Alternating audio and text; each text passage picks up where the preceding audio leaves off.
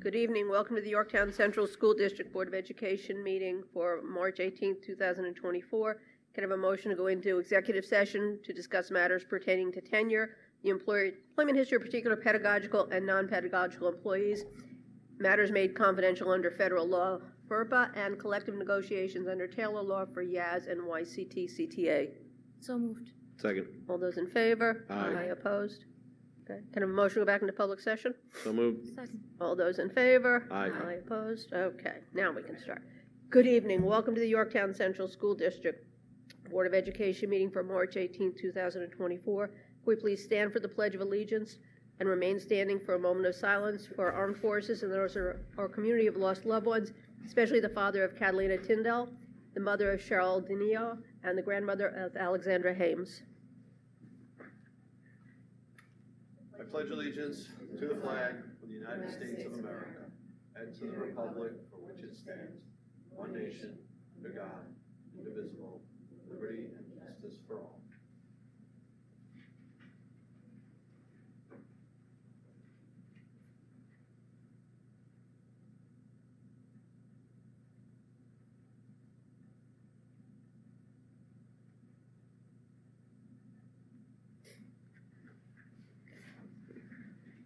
All right. Um, We're going to start with good news, Dr. Hattar. Yes, we are delighted to, good evening, everyone. First of all, good evening. It's nice to see so many students here from our middle school. I apologize for us coming out a few minutes late. I know it's a Monday night, and you all have plenty of homework to do and lots to do when you get home, so we appreciate your patience. We're, we're going to begin this evening with a really exciting presentation from our middle school. And to introduce the presentation, I'd like to invite Dr. Rupchand, Middle School Assistant Principal, to the podium. Dr. Rupchand? Good evening, Mrs. Carbone, uh, board, excuse me, Ms. Carbone, uh, members of the board, Dr. Hattar, and central administrators. I'm honored to be here tonight to present the good news from Mildred Strang Middle School. I'd like to thank uh, Ms. Horowitz for allowing me to present and the board and Dr. Hattar for their role in tonight's good news.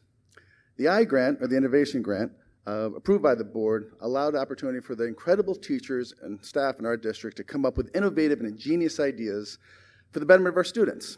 So, without further ado, I'd like to introduce Mr. Video, uh, the recipient of the I grant, along with some of our students uh, to share our good news. Mr. Video?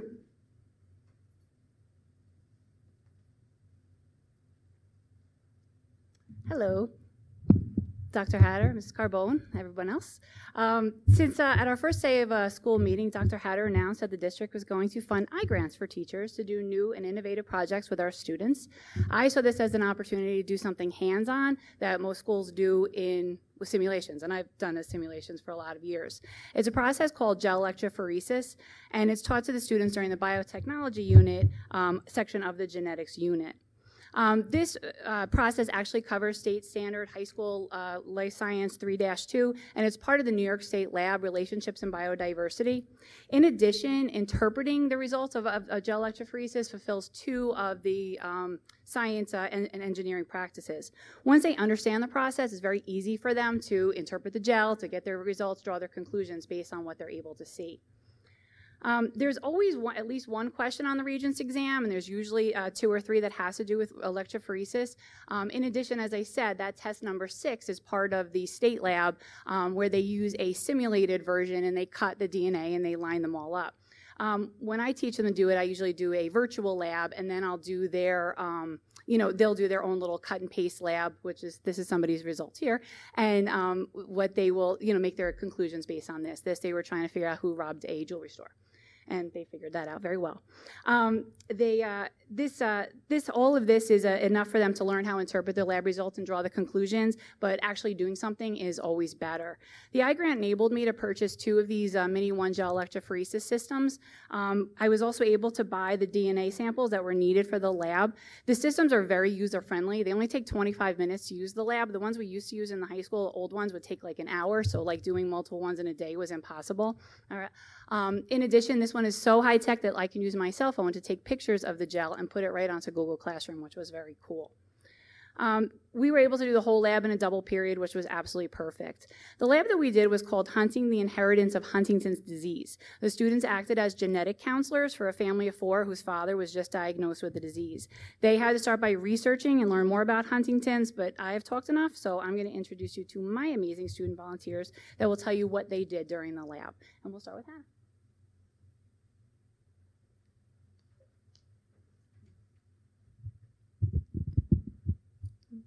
Through our research, we learned that there is a gene on chromosome number 4 that codes for the production of the Huntingtin protein. There is a section of the gene that has the basis CAG repeated over and over again. We call this a trinucleotide repeat. Most people make normal Huntingtin protein and have from 10 to 35 repeats of these three bases. This is a variation in our DNA that does not affect us in any way.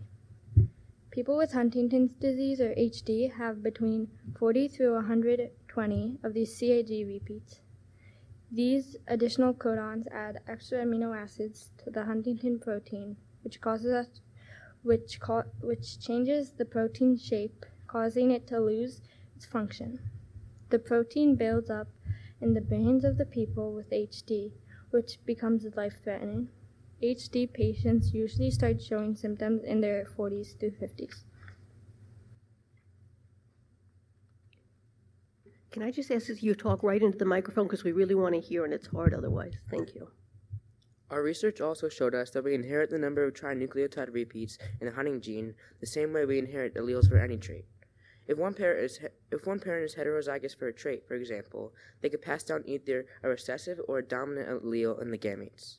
In the same way, if mother has 6 repeats on one chromosome and 19 repeats on another, her eggs would contain one chromosome number 4 with either 6 or 19 CAG repeats. Inheritance of the HD of the HD allele though is a little different. Having more than 40 CAG repeats makes that section of the gene unstable. Because of this, when the chromosome is copied before reproduction, the enzymes can copy extra CAGs, even more than the parent with HD actually had. We had to be sure to notice that children with HD might have more repeats than their parents.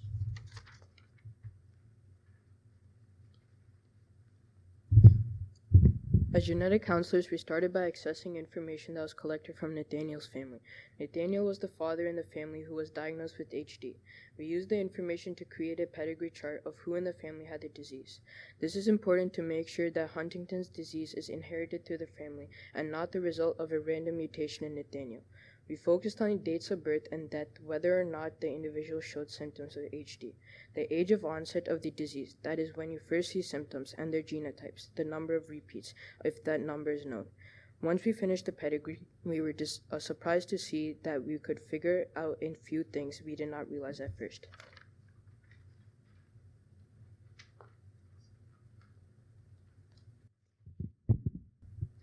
This is an example of a pedigree created by one of the groups. The blue circles and squares represent individuals that we believe suffered from Huntington's disease. Looking at the pedigree, we can conclude that it is an inherited disease. We can see that it is dominant because it appears in every generation and that it is not autosomal, not sex linked. That it is autosomal, not sex linked. We know that because one father passes it to his son.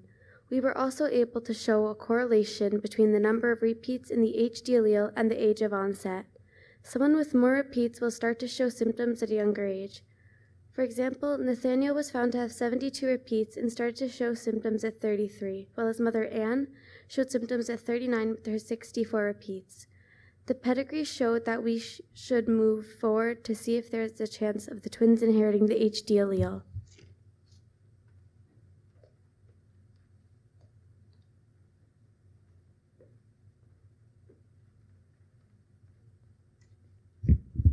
For our next step in the genetic counseling process, we wanted to predict the probability that the twins could each inherit the HD allele from their father. To do this, we made a Punnett square of the genotypes of their parents, Nathaniel and Jean. The numbers you see are the number of bases in the section of the DNA Huntington gene that we copied. The HD allele that Nathaniel carried had 330 bases. If that allele is inherited by either child, he or she will inherit Huntington's disease. In the Punnett square, the red arrows point to the two possible genotypes of the four that will result in HD. That means there is a 50% chance that each twin will have Huntington's disease. Now it's time to test the chromosomes of the children to find out their genotypes.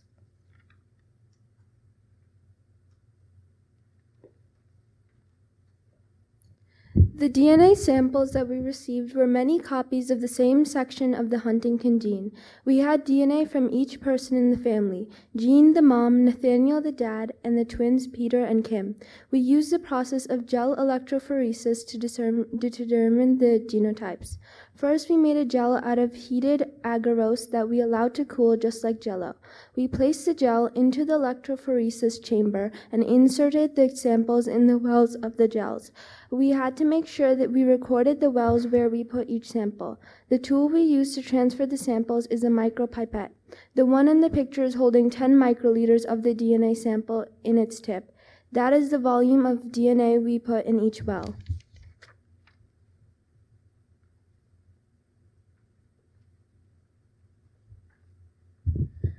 Gel electrophoresis works by passing an electrical current through the chamber with the gel and DNA samples inside. Because DNA carries a negative charge, it will move through the gel to the positive side. Smaller samples, the ones with less bases, will travel farthest than larger ones. The DNA samples will show up as bands. These bands will line up in a line for each person under the well where we put the sample. This MiniOne electrophoresis chamber had a light we were able to leave on and an am- amber top that allowed us to see the gel during the whole experiment. We were able to walk up throughout the period and see the DNA bands moving through the gel.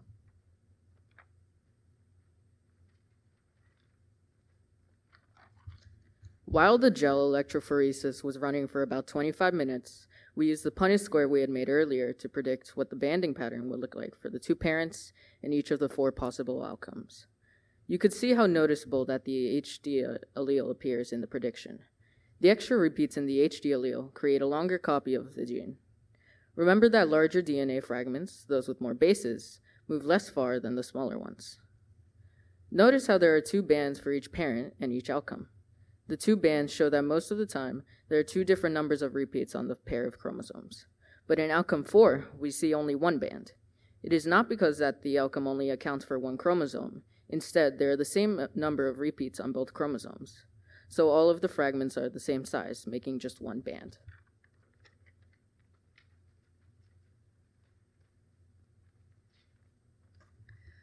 This is a picture of the gel we made through gel electrophoresis of the family's DNA samples. We can see that Jean and Nathaniel's banding patterns are similar to our predictions. Jean has the genotype 138 to 171, and Nathaniel was 171 to 330. And Kim has one band similar to outcome 4, so she must have the genotype 171 to 171, according to our Punnett square.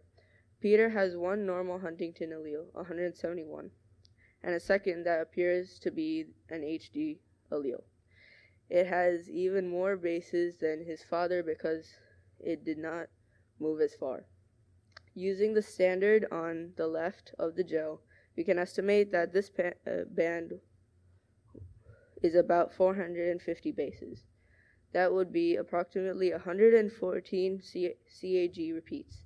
Based on everything we have learned, we can conclude that Peter will develop Huntington's disease and will most likely show symptoms in his mid 20s.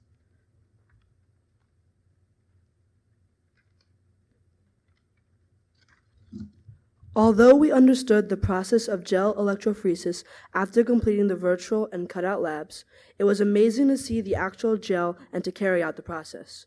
The chamber was very easy to use and it was easy to, to, for us to see the results.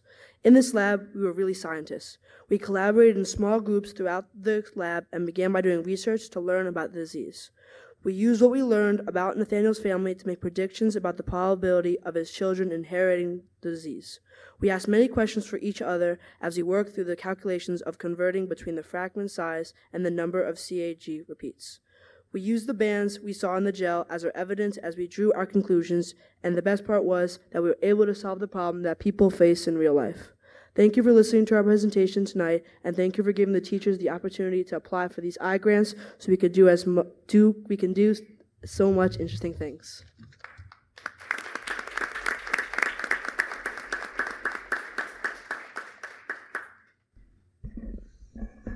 Now for the quiz. I'm just happy there isn't a test at the end of this. I'm still trying to figure out how to spell electrophoresis. That's. I have to tell you, I am blown away, absolutely blown away. This is remarkable learning that's happening in your classes. To our students, so proud of you for so many reasons. I'm so proud of you, but this is not easy stuff. This is really complex stuff. This is high school stuff. And in fact, your uh, principal at some point Mr. DeGennaro is here to see what you've learned, and, and that's terrific for you to make that connection this way. Mr. Vetti, I just want to thank you because somebody who's at the pinnacle of her career, who has accomplished so much in the classroom, you didn't need to do anything differently. Everything you've done has been so successful, and, and you've done some great things in the classroom for students. And you, you took a risk. You applied for the grant, you, and you stepped out of maybe your comfort zone to try to learn something new that you thought would benefit your students. And I really appreciate you doing that because without educators like you, opportunities like this don't happen. So thank you for applying. Thank you for bringing this to our schools. Students, did you have fun with this? Okay. As fun as electrophoresis can be, I guess. That's what it sounds like. I am just so proud of you. Keep up the great work. What you did here is remarkable. The fact that you can make this prediction and then specify the point in this person's life when symptoms would appear initially, I think is remarkable. And this is some really high level stuff. And I hope you keep that passion for science because the world needs great scientists. So I hope you continue that passion, carry it into the high school when you get over to Yorktown High School.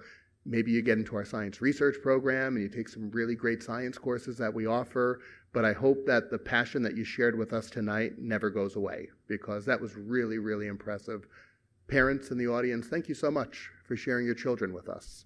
You give us great children to work with. We appreciate the time that we have with them, and, and teachers like Mr. Vedio and their other teachers certainly take advantage of all of these learning opportunities that we have. And we just we're so thankful for your partnership, your support, and then just finally, Mrs. Horowitz, uh, Ms. Copeland, Dr. Rupchand. This doesn't happen without your leadership, and I certainly appreciate all that you have done to continue to cultivate innovation within the school building. So thank you all. I'm just so proud of you. Well done. Yeah, um, okay, I'm going to let the, the board speak, but Mr. Video, this wasn't a middle school lesson. it was amazing to see what they can do. Really incredible. So thank you very much. I appreciate it. Lisa, you want to start? like, oh my God. Like, that was middle school. Well, like, I had I had to go back. I have the slides here on my computer. I had to go back and reread the beginning so I could keep up with you guys. It's amazing, Mr. Video. Thank you so much for doing this. Kids, thank you so much for participating and, and sharing it with us. I'm just I'm blown away. Yeah, this was quite a presentation. Uh, I look, I actually had to go back to the beginning slides to really pull it together once again and figure out exactly how many different parameters you hit. And it was statistics, probability, science, engineering, and then making and defending a claim. Talk about just pulling so many subject areas together into one lesson. That was simply amazing. That's even more than eSTEAM pulls together. This went above and beyond the acronym of eSTEAM. So this was amazing, and you should really feel good about where you're headed. Thank you so much for coming tonight. Rashmi? Great job by our students. And uh, Mr. Vedio, thank you for you know, applying for the I grant, but also encouraging our students, um, you know, to uh, to pursue their interests. And to Dr. Hattar, I, I have to say you bring out the best from our amazing staff. Um, you started the I grant initiative this year, and we have already seen, I think we saw two or three other ones. Um, I see them also in the newsletters. I mean, you know, kudos to you for thinking about it and for finding the money. um, and for you know encouraging our staff. So thank you, Mike. There's not much I can add to all of that, all of what was said, but it, I was truly amazed. Um, great presentation. Thank you all for participating, and thank you for uh, offering this opportunity to, to our students. It's really uh, truly remarkable to see. Kathleen? Thank you, Mrs. Servideo. I'm not surprised. Such an innovative teacher, and you know, making this hands-on, you could have touched another student that you know really wanted to learn science but needed that hands-on. So thank you, and everybody did a great job presenting. I think I said it all. I'm good. Thank you, thank you, thank you. You guys are amazing. So.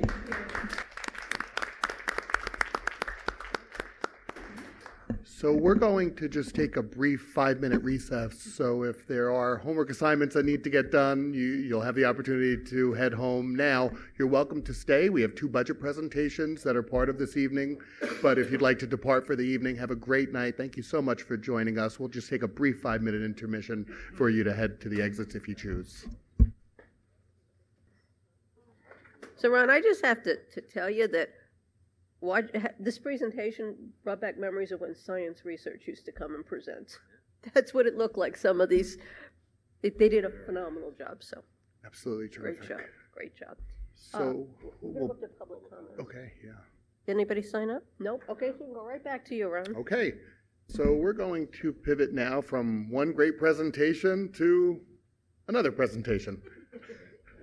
Uh, we're going to, if it's okay with with the board, what we'd like to do is deliver the two presentations separately, and we'd like to do that because we know that so many members of our community view the presentations after the fact, whether it's through a Board of Education meet meeting video or they go to our website. So what we'd like to do, and, and Brian will, will certainly be able to post this to the website, is deliver the athletics and co-curricular, have a Q&A session on that portion of the budget. This way we can cut that video, post that independently to our website so members of the community can interact with this presentation and the questions that followed. And then we'll present our instruction and technology and PPS budget and have a question and answer on that as well. And, and again, post those separately to our website so members of the community who have an interest in one or the other can go directly to the website, hear the presentation, hear the questions that are asked and answered with regard to the presentation and just have that in one spot rather than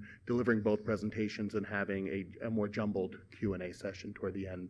But certainly just because you don't ask questions if a question occurs to you after the first presentation and while we're in the second you're certainly welcome to ask it at that point.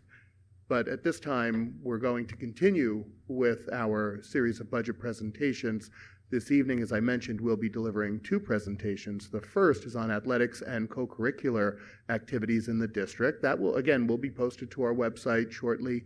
You'll have the presentation as well as the voiceover, the narrative that comes along with this presentation posted to our website. So we certainly encourage members of the community to go visit our website to access not only the presentations delivered this evening, but any of the presentations in the series of presentations that have been delivered to this point.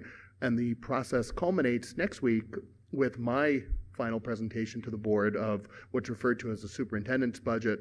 The board then will deliberate will review that budget, will review the proposals in the budget, and then make amendments as needed. And that would lead to the adoption of the budget on April 15th. So we encourage the community to stay engaged. We'd love for you to come out to our meeting on Monday, the 25th. We'll send out an e-blast reminder later this week to remind our community of the upcoming meeting Monday night with the presentation of our um, proposed budget.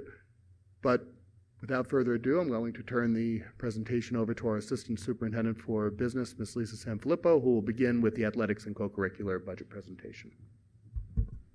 Hi, good evening. So tonight we're going to be talking about athletics and co-curricular activities. That's what we're going to be uh, presenting. I just wanted to point out that uh, we have some people here to help answer your questions. Our Director of Athletics, Mr. Rob Barrett, our high school principal, Mr. Joe DeGennaro, and our middle school principal, Miss Marie Horowitz, are here. This is just a picture of some of our athletes doing what they love to do. This is an overview of our athletics department, and it starts with the Director of Athletics, Physical Education, and Health. Reporting to him is uh, his clerical staff, the coaches, athletic trainers, and seasonal coordinators. Overall, for the department, um, in terms of FTEs, there's one athletic director. There are three various seasonal coordinators. Um, we're representing it as a 0.3 FTE, but it is an after-school stipend, and there's one, um, one coordinator per season. There's an administrative assistant, a 1.0. Um, currently, we have an athletic trainer slash we're hiring for a um, strength and conditioning coach. That was included in this budget for this year at a 1.5. Um, and overall coaches are 77. This is a breakdown of the number of teams, coaches, and students by season. I just want to point out that the spring season numbers that are here are numbers from last spring season because we just started off on the spring season this year. So for fall sports, we have 23 teams, 32 coaches, and 397 students. Winter sports, 26 teams, 22 coaches, and 245 students. Spring sports, 20 teams, 23 coaches, 383 students, a total of 69 teams, 77 coaches, and 1,025 students participating in athletics.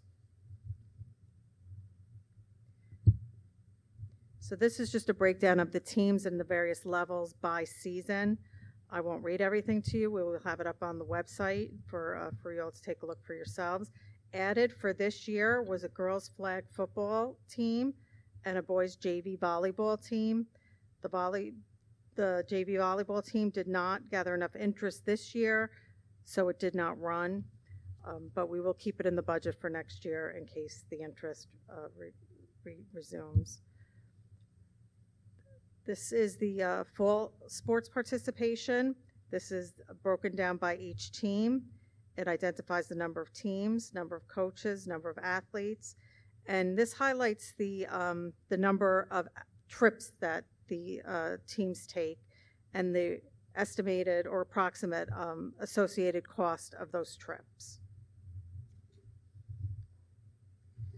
This is the winter sports breakdown as well. It shows the same information, teams, coaches, athletes, number of trips, and the cost of the trips.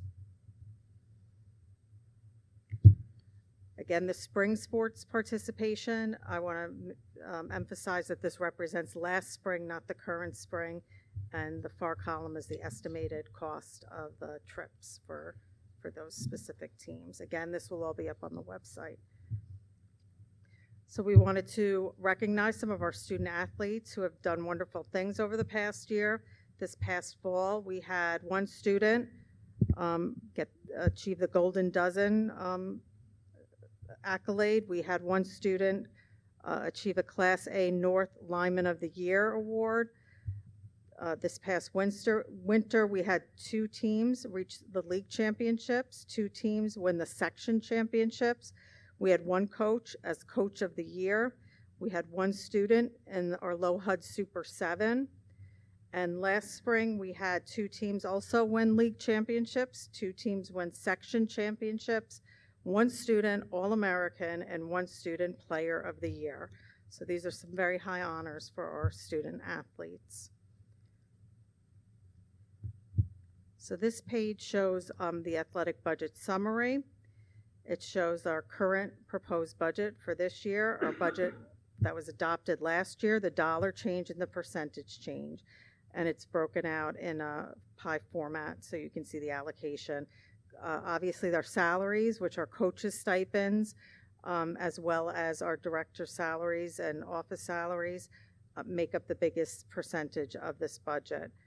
Um, the increase here uh, is also because of the half 0.5 of the strength and conditioning coach. Last year we only put in a 0.5, so this year we have to add the other 0.5. And also in this budget is, which we'll be talking about a little bit further, um, is the proposed addition of three modified sports teams. So those amounts are in this budget as of the moment. So some of the new items for athletics that we wanted to discuss. Hudl is um, going to be added for girls softball and boys baseball teams. We will be changing, hopefully, from Family ID to Final Forms. It's a program that families can use to register students for sports. We are looking to purchase some new equipment, high jump mats, hurdles, soccer goals, three man sled, football headphones, and field hockey goals if we do move forward with the modified girls hockey team.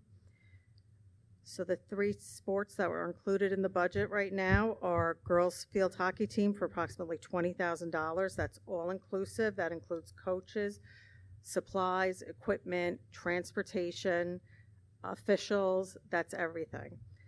Boys volleyball at the modified level would cost approximately $13,000 all in, and cross country, boys and girls, would cost approximately 20,000 all in.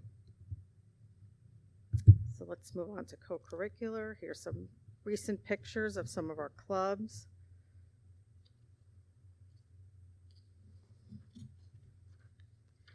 So this slide is going to show you all of our high school clubs and the current enrollment in each club.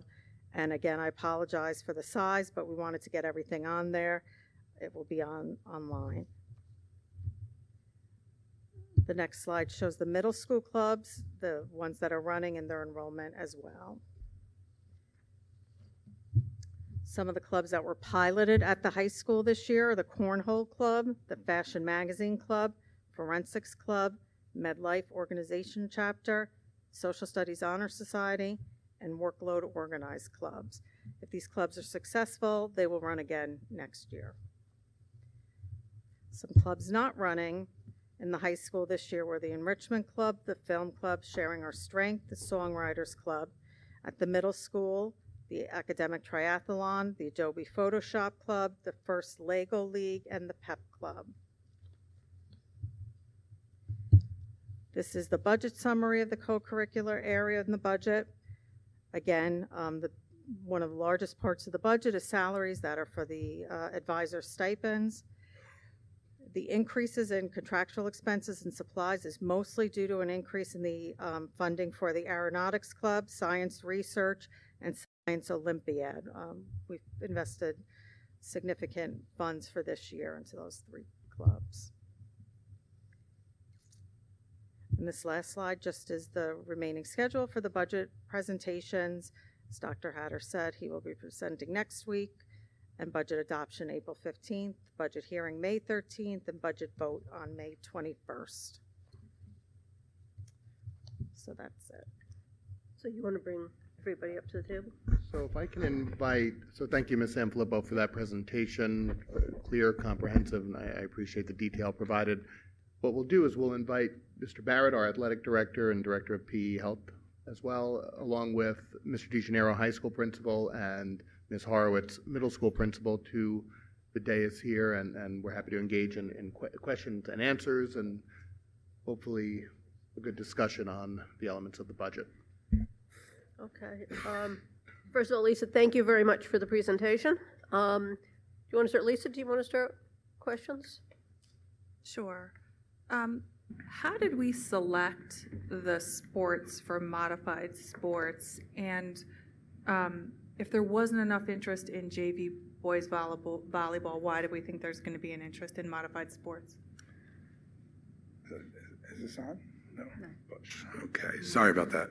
Um, great question. So, um, the sports that we selected are sports that aren't really taken care of at the YAC or the youth level. So, we wanted to um, kind of build those programs. There are some of our weaker programs in a sense, although field hockey's been doing great of late, um, which has been awesome. Um, but we felt that if we are going to do something, we, we, we could build something in sports that are kind of not getting that feeder system. So, um, so that's how it was kind of selected. The idea behind volleyball was that we want kids to come to JV, so we're not getting them. Let's try and attack the middle school with the idea that we'll get that seventh and eighth grade group. Then we'll have a JV group, and we already are having a varsity group at this point. Um, I was shocked that we didn't have a JV this year, considering the fact that we had to cut, unfortunately, cut nine or ten kids the previous year. Um, after reaching out to those kids and hoping that other um, students would be coming, um, it just didn't kind of happen, um, unfortunately. The coaches have also regame planned themselves, and they're doing clinics here in the spring in an effort to garner, garner some interest. Um, so we're hoping, kind of attacking it from multiple angles, that we're going to be able to build that program up, um, as well as you know, kind of take that last step for field hockey. Um, the coach has done a really nice job of doing those off-season kind of things. Um, but now we're trying to get you know sticks in the kids' hands earlier, so that there's maybe an interest um, at an earlier time where they can develop those skills and then come, and it'll just add to the success of the program and what the coach has been able to accomplish over the last couple of years. Cheryl.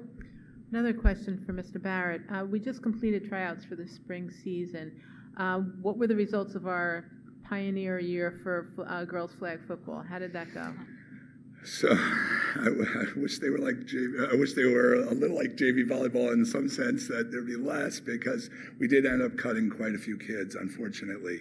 Um, the interest level at first was, I want to say it was in the 60s, almost 70. Um, so they were doing preseason kind of clinics just to kind of see where the girls' levels were at, see what their interest level was at.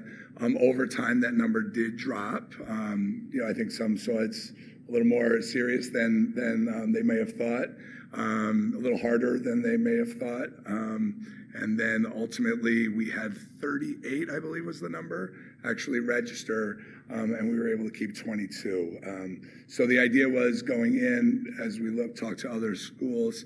Um, the num- magic number was 16. Um, but coach was like, it's the first year. I really want to keep more, and I'm certainly encouraging that idea. We don't want to turn kids away. Um, so he went to 22, which he thought was a, a manageable number still. Um, did have conversations with um, some of the kids because some of them are younger and you could see the potential, but maybe they're not quite ready to step on the field at this point. So they had those conversations about development versus playing time already, which I think are important conversations to have so that student athletes know what they're getting into. Um, but the number is 22. They had their first scrimmage today, and it was uh, pretty fun to watch. I'm going to say that I saw a very excited group of young ladies, which was awesome. So it's great. Sure. And thank you, by the way. That doesn't happen unless you guys do what you guys do. So I appreciate that. Rashmi. Um, so my question is for uh, Mr. DeGennaro. Uh, so the clubs in the high school, uh, and Mrs. Horowitz too. So uh, the clubs that are um, in pilot mode, uh, uh, do you decide to continue with that? Like, do do you evaluate that in a year or two? And is it based on interest? Is it based on availability of an advisor? How do you uh, make that decision? Yes, yes, and yes. Um, we mid-year we do a checkpoint with our advisors to see what the numbers look like, and then we do the same thing at the end of the year. So the goal of any piloted club is to make sure it has sustainability. A lot of times when those clubs are piloted, they're not seniors necessarily; they're younger kids who are going to be back and know that we want to try to get you know started but keep it going. Um, so yeah, we'll look at it again at the end of the year. We'll come back at the beginning of next year at our grade level assemblies. We'll talk about opportunities for kids to get connected to the high school, um, and then we go from there. So some of the clubs that you see on one of the other slides that didn't make it, it's the same process, but the other way around. Didn't have the interest. Um, so the great thing about it, and I, I echo what Mr. Barrett said, I, I, appreciate all that all of you at the dais do to support all the athletics and the clubs to give the kids the opportunities. All the clubs that we have come from our students and their passions that they have. Great. And um, I also have a suggestion. Uh, I know this year we uh, switched up the order uh, of the presentations a little bit from what we have done, and I think the order is great. If I could only suggest moving up the instruction, uh, the general and the special ed, kind of starting with that, maybe right after the tax gap and the state aid, um, and then kind of you know working our way uh, with, with what we got. That'd be great. Thank you. Mike, Catalina. With such a high interest in the girls' flag football, I heard have me in the microphone. um, is there? Do other districts have a JV girls' flag football? Is that something that's because I know it's piloting and everything is new. So, so currently there are no JV because the thought was maybe we could kind of do something on, on the spur of the moment. Um, as difficult as that may be with uniforms and schedules and things like that, it was something that we made a couple calls, but there are no JV teams right now. Um, I do think that it is something that will be happening in the near future as um, the stories start to, well, one, it starts to get bigger and the stories of cutting kids um, starts to happen again. You know, um, so yes, I, I'm hoping that that will happen. But there, as I talk to many schools, there's no thought yet, but they do think that it'll be in the next year, two years, maybe three years. Okay. Um, I have a question about skiing's travel. It is through the roof. Why? So, so you got a couple hours because that's a difficult question. What- What are you going to do to I- cut it? Maybe that's a better question. I, well, you know, um, so there's there's the the travel with ski is is is a um, major component of ski. So um, often they're traveling two hours, an hour and a half, two hours um, to the places where they can ski. So if it was snowing all the time, they would be traveling to closer places. But early on in the, certainly early on in the season and kind of the middle of the season, they're traveling to these places. Some of that um, is that a necessity because Thunder Ridge doesn't have the course meet the course requirements that they need to run certain races, so they need practice on those bigger mountains. Um, so that's also a part of it, um, and then also the equipment piece is a part of it, um, and then the last part is we did look at entertaining having them go on school buses, um, but getting the buses at the times that we need them to get there and the time that it took to get there you have a certain minimum of hours that you have within your bus, and then you start to pay overtime. And we started to realize that it was kind of becoming a wash. So we went with the um, coach buses because there's a lot of advantages. They can put their equipment underneath. Obviously, they're they're more comfortable for those long rides that are occurring. Um, but at the end of the day, because they were similar in price, that's why we chose them. So there is no easy way around it in terms of the cost for traveling. Um, you know, we do have 20 plus kids that were on this year's team. Um, it had, my understanding, even before I was here, was a long-standing tradition that ski was, you know, part of the community and the culture. Um, so it still has maintained itself. You know, I did hear stories of two and three buses at one point going to, to the mountains. I mean, I don't think we're at that level right now, but certainly it's kind of held on at this point. So you're saying you can't reduce it? I can't what? You can't reduce that number? I've, we tried. We Okay. did try to. Okay. Yeah. I, I, and and again, we're you know we're we're trying to give uh, find a balance between giving them a good experience um, in terms of getting out there on the on the cour on the courses on the slopes, and them practicing dry land. You know, we're trying to find that balance. So they do a lot of dry land early because there is no snow, um, and then when the snow comes, we try to take advantage of it as we can. Yeah, can I just follow up on that? Um, not picking on skiing, but there's 21 kids. How many people does a coach bus hold? Could we combine with another nearby school and go together? Sure, that's something we could certainly look at. Schools, um, some of the schools are bigger. We have kind of have kind of looked at it, but not looked at it as closely. I can certainly do that. Um, we already have a student from Lakeland who has joined us. Um, she skis unattached, which means she's part of the team, but she's not part of the team. She goes to all of our match or our competitions. Um, but she skis independently with us. So they're they're offsetting some of that cost. She's you know we we charge them for their their share. Um, so it's one. 23rd or whatever it is of the cost. Um, so they obviously would be a logical um, partner, but they have only one skier that's interested. Um, some other schools have no interest in skiing uh, because nobody's come forward and wanted to ski. And then some of the other teams do have bigger teams that maybe would benefit from that. I, you know, I could certainly reach out to them. That's a great idea. Um, the other question I had about the the sports participation is the number of trips. Those aren't like trips. Those are to go to games, right? Like they're going to Somers, that's a trip. They're Right. going to Mahopac, that's a trip. One hundred percent. But the bus still there's still a cost associated with every one of those right, trips. but I don't yeah. want um, people to think we're sending the basketball team on 21 trips Yes. to Disney World to play at ESPN. Yes. They're going to Mahopac. You play, are right. Yes. No, we're not Kentucky. No. Cheryl, do you have anything else? I'm set, thank you. Rashmi? Mike? Adelina? I have one other question about the Hudl software. You're putting it in for baseball. So that's something that's is stationary at the field? Correct. So for both uh, softball and baseball, it'll be behind the basically home plate Right. and show an out view, an outer view of the whole entire field, um, similar to what you see in the in the in the gym. It, you know, it's stationary.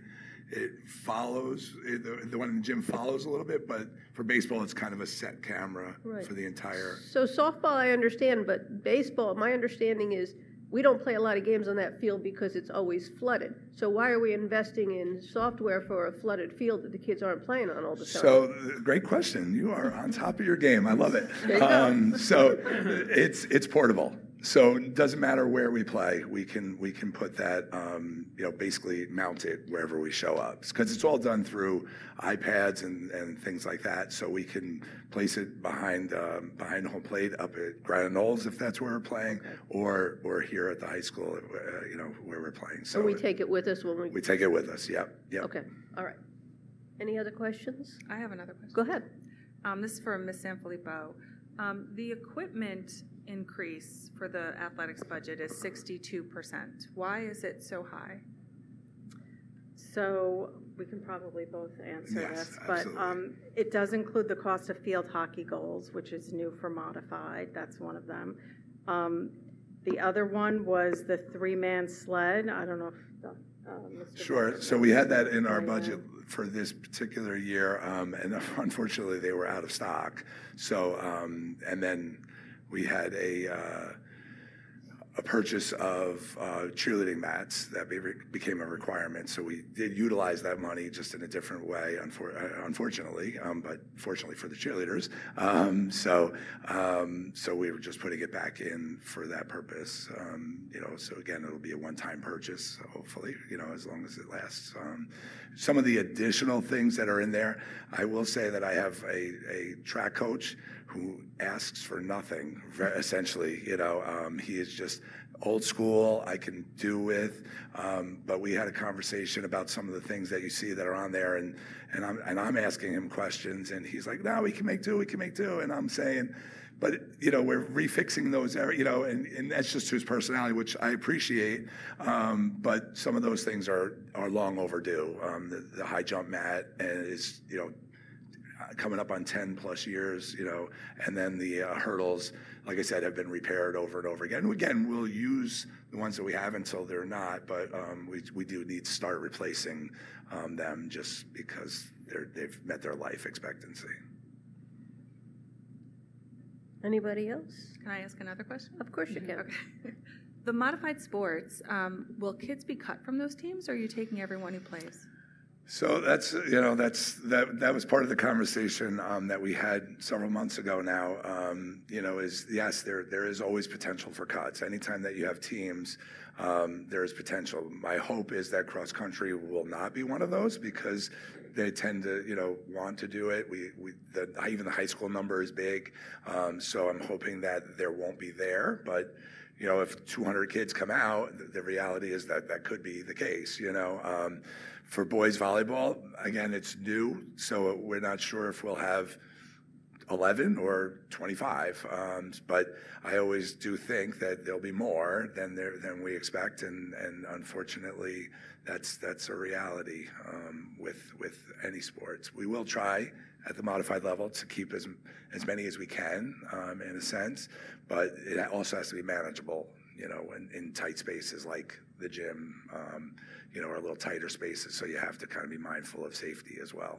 All right, I mean, I just think back to the conversation we had when you were here when we first discussed it, and how, how you thought that the modified sports could actually be a deterrent to kids from playing high school because they get cut in the seventh or eighth grade and then don't try again when they get to high school. And so I'm wondering how we're reconciling that with adding three modified teams where kids might get cut.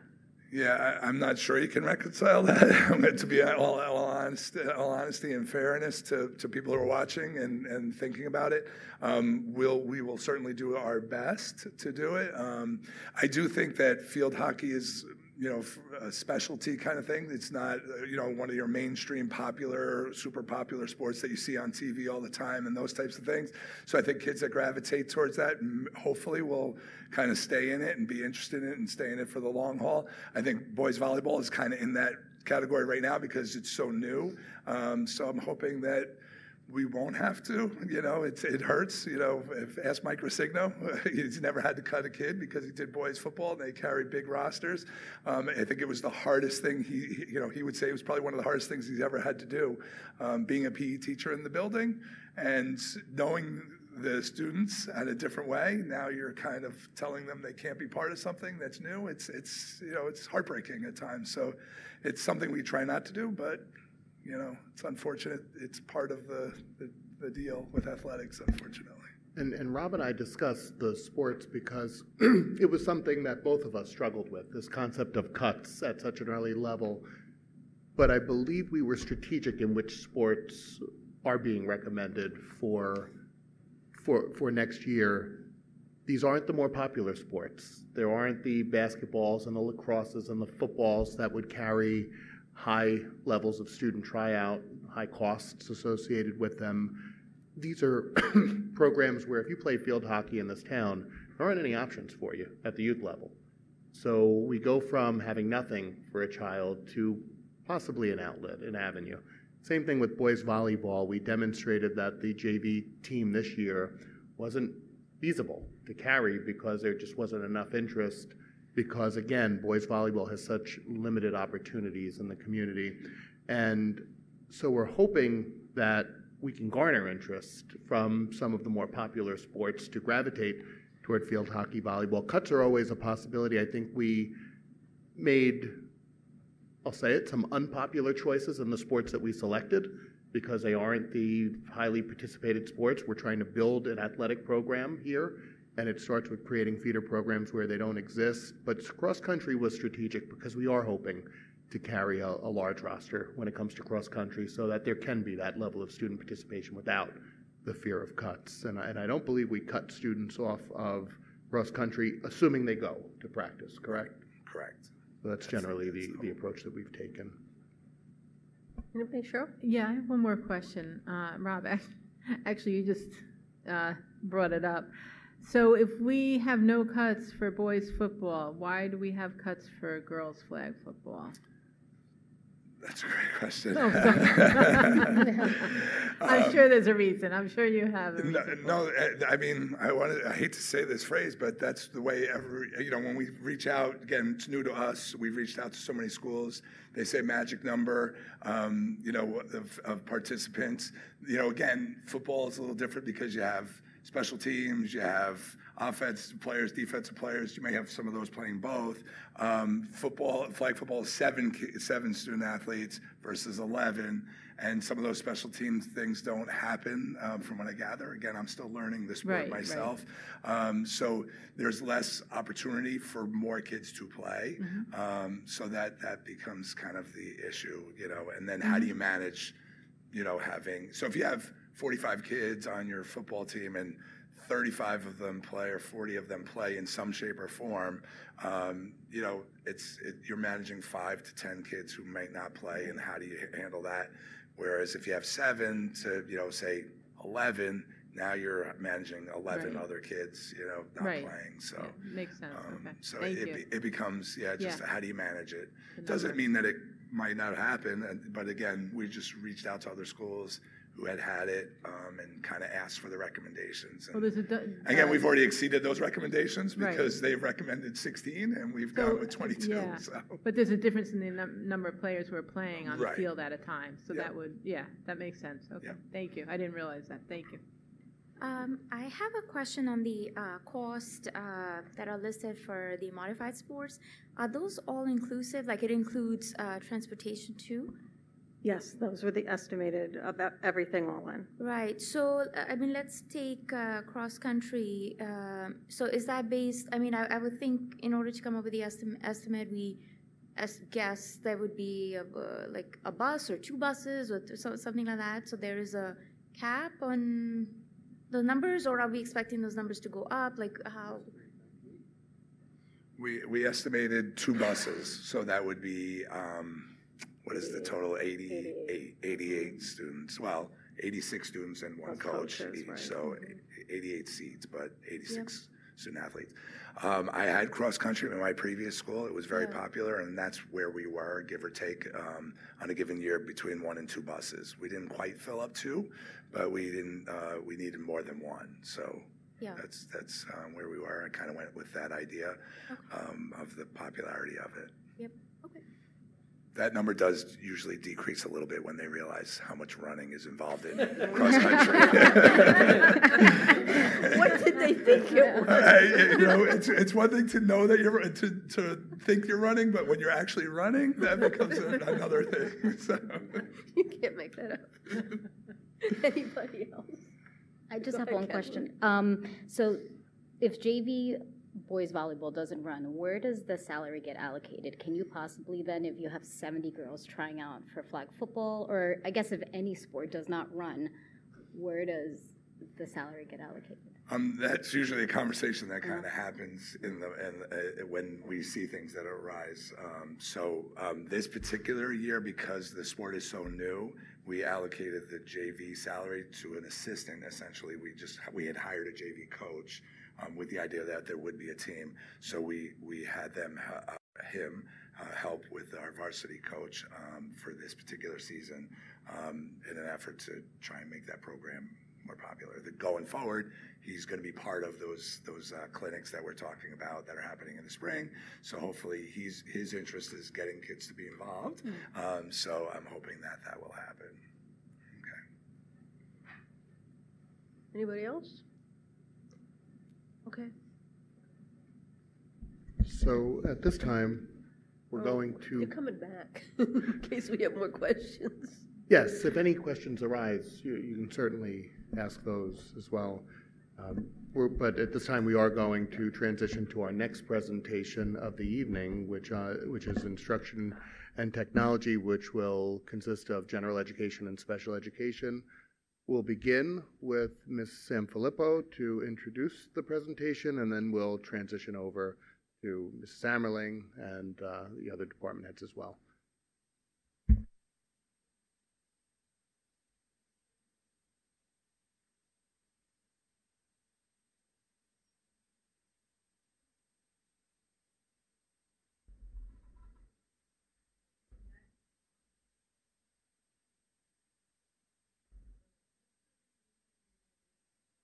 Oh, curriculum and instruction, pupil personnel services and special education, and instructional technology and data. So our first part of the presentation is on curriculum instruction, and that will be presented by Deirdre Ammerling, the Assistant Superintendent for Curriculum and Instruction. Thank you. Good evening, everyone. Thank you for the time tonight to present the instruction portion of the budget for school year 24-25, which includes pupil personnel services and technology. As always, we begin with Yorktown's vision statement, which you have seen many times over the past seven years, as it represents all of our work for Yorktown students.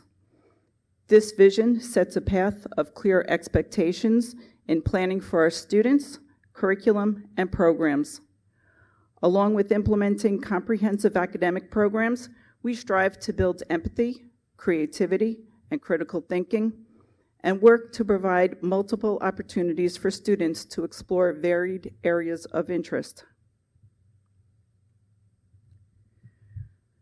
I know our school community has seen the next slide many, many times, but it is important as it represents the overarching goal in Yorktown, that of educating the whole child. We know that all components of our K through 12 program are important and valued as they contribute to the overall experiences of our students. Therefore, we continually look at providing enriching opportunities in all areas.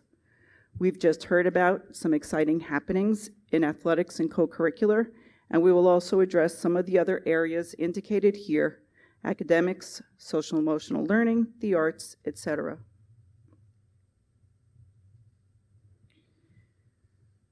We begin with an overview of the organizational chart for instruction as it reflects a team of over 550 dedicated faculty and staff that work collaboratively to support our students. While that is a large number, We truly work as a united team for our students and community. Our supervisors, Ms. Chesser for Humanities and Mr. Miller for STEM, have been critical in collaborating with staff in all buildings and moving our K 12 curriculum and instructional priorities forward. I just want to give them a very special thank you for their hard work and dedication. They are here tonight in the audience.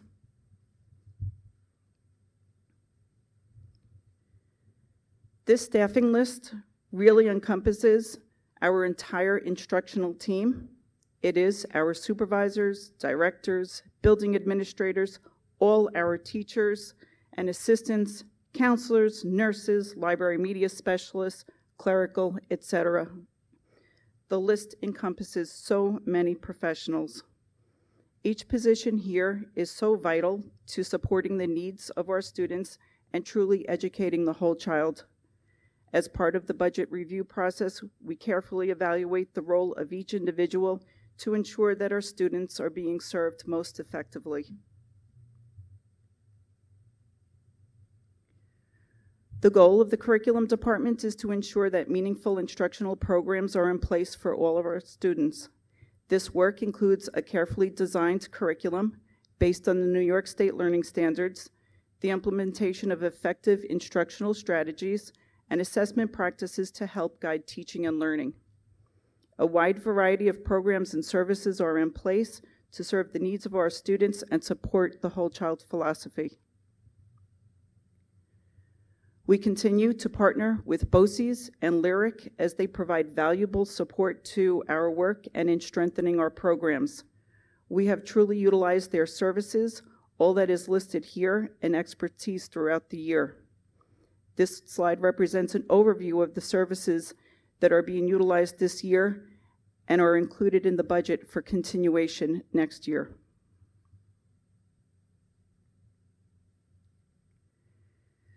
I wanted to take this time to provide some highlights of some of our work throughout the school year. We began our year day one with a focus on artificial intelligence. While this had some mixed emotions at the beginning, it has become a highly focused and exciting area, particularly at the secondary level, where the teachers have embraced how AI can be an incredible asset to teaching and learning. Teams of teachers have participated in both BOCES workshops and Lyric's Model Schools program to learn how best to leverage AI in the classrooms. The Model Schools work has been exciting as teachers have led the development of a project in their content area. This work is actually finishing up this month, and we look forward to presentations in April where teachers will celebrate and share with others highlights of their work and its impact on their program. We are looking to identify an AI platform that meets our data privacy needs and is user friendly to both teachers and students. We are exploring platforms such as School AI and Magic School and will include a larger group of teachers and administrators to make a final decision. We will then plan for rollout and professional development for our faculty. Earlier this year, you met Stephanie Conroy, who provided an overview of our new data platform, EduClimber, and how it assists us in evaluating, stu- evaluating student progress. EduClimber has been integral in moving our MTSS work forward, and I do want to thank Stephanie as she is invaluable to this work. We have developed data teams in each building and provided training to classroom teachers, administrators, reading specialists, and interventionists to increase a shared understanding of the data that is collected in order to identify appropriate interventions that support individual and small group instruction. There was a lot of buzz in the media and educational community around the science of reading, particularly in the early grades this year. We have always had a robust program in Yorktown through our curriculum and reading intervention programs. This year, we have spent a great deal of time looking at this body of research with the supports of consultants from Living Literacy Network. Our work has included looking at small group instruction, particularly around decoding and phonics at our elementary levels. Throughout this work, we have identified instructional resources that would benefit our students and have incorporated Lexia, a research and evidence based program for all kindergarten and first grade students. Lexia is a digital program that has benefits for at risk to advanced learners in a structured approach to phonological awareness, phonics, vocabulary, fluency, and comprehension. Our K and first grade teachers have fully embraced it, and we look forward to expanding its use for all second grade students next year.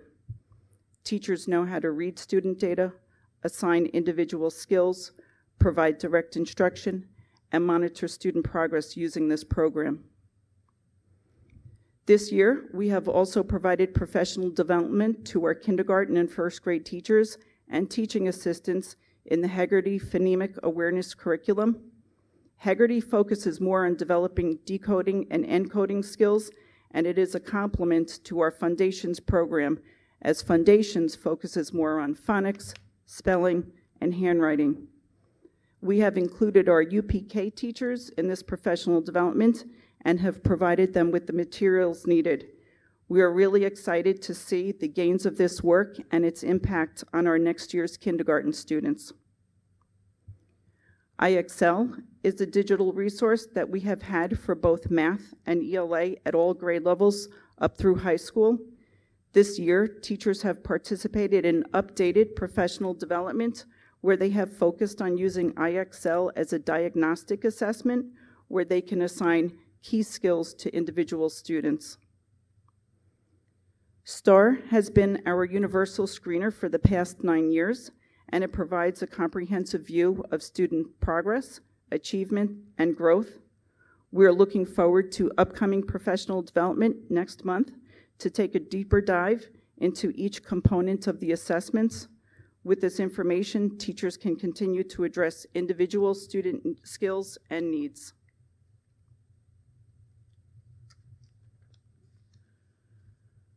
We are in our second year of full implementation of TC Writing, kindergarten through grade five.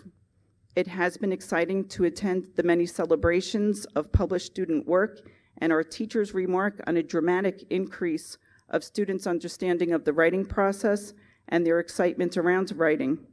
Ms. Chesser, our supervisor of humanities, works closely with each grade level to unpack each unit enhance them through identifying mentor texts that reflect greater diversity in characters and authors and reflect on assessment and practice. Innovation grants were an exciting addition this year as they have encouraged our teachers to reflect on their program and look to increase student engagement, opportunities for learning, and provide unique experiences for our students. It was nice to see Mr. Videos and the students' presentation a little while earlier and it reflects how the iGrants have created wonderful and enriching learning opportunities for the students. We are excited about the new courses offered at the high school this year in the areas of drones, sports medicine, and film as literature. The teachers presented earlier this school year as they were planning for the courses and are excited that they are now up and running and that students are benefiting from them. Computer science and digital fluency standards have continued to be a focus of work. Under the supervision of Mr. Miller, our supervisor of STEM, a guidance document for each grade level band has been created that identifies each standard and where it falls within our curriculum. Mr. Miller will provide additional review with the teachers in the coming months, and we are ready for the CSDF standards to be fully implemented in September. As we continue to plan for the 24 25 school year, there are key priority areas that we are excited about. We will continue to ensure the vertical and horizontal alignment of curriculum in all content areas. We look forward to continuing high quality professional development in key areas such as the science of reading, eSTEAM, AI, and individualized instruction. We remain committed to the development and implementation of an MTSS plan that reflects both academic and behavioral supports. As mentioned earlier, our work in AI will continue to be a major focus, as will be the encouragement of the iGrants to enhance our programs. We look forward to exploring new courses, especially at the secondary level, primarily in the areas of world language and ESTEAM. We have begun a review of our language offerings and have observed a decline in students, particularly in the area of French. We continually look to see what our students are interested in, and there has been expressed interest by the high school in offering American Sign Language. This is also of interest at the middle school level. I do look forward to providing you with additional data in the near in a future meeting that require um, reflects this.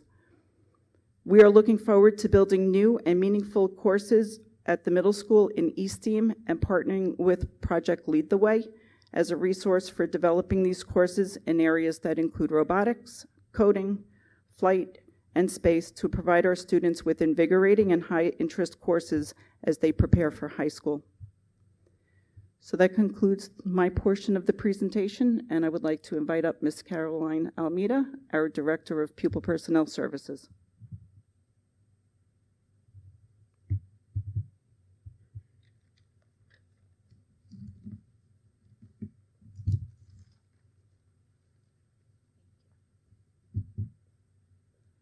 Good evening. Good evening, Dr. Hattar, Mrs. Carbone, Mr. Mignani, and trustees. It's a pleasure to be here tonight to talk about the Pupil Personnel Services Department and some budget considerations. The first slide shows our organizational chart, and we can see that there's a lot of different departments that fall under PPS. We have our school nurses and our special education teachers and occupational therapists, speech language pathologists, and many other providers, our social workers included. We have some staffing numbers here for you in terms of special education teachers. Currently, as of this year, 68.2, psychologists 9, one of which is funded through a grant. Social workers, we have 9, speech and language pathologists 12, occupational therapists and certified occupational therapy assistants, six. We have nine nurses district-wide, including one nurse who's a one-to-one nurse. We had one. We have 118 certified teaching assistants, two full-time reading teachers in our department, and two full-time behavioral specialists.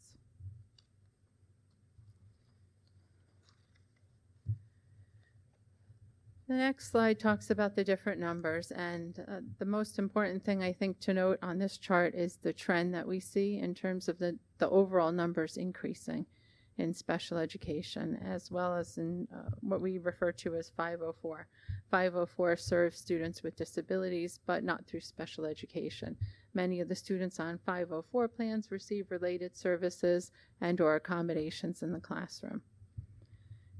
And what we can see here is that the numbers overall are growing each year.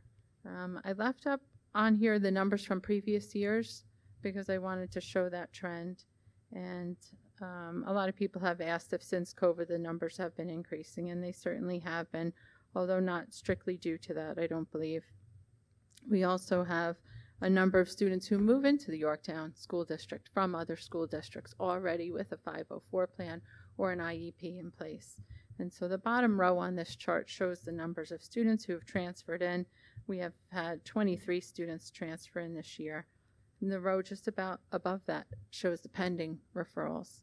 And we have a lot of students who are referred for evaluation. Some of those students go on to be classified and some don't. And so the number of current pending referrals is 69, and we do expect our overall number of classified students to grow by the end of the school year. Um, and part of this increase is due to the, the number of students requiring services, but also what the numbers don't show is the complexity of the need that we see. And so I, it, while it wouldn't show up in a chart like this, um, we are also seeing a trend toward higher need with students. In previous presentations, we've talked a lot about the increase, particularly in the social emotional needs of students. And that's a trend that we continue to see rise.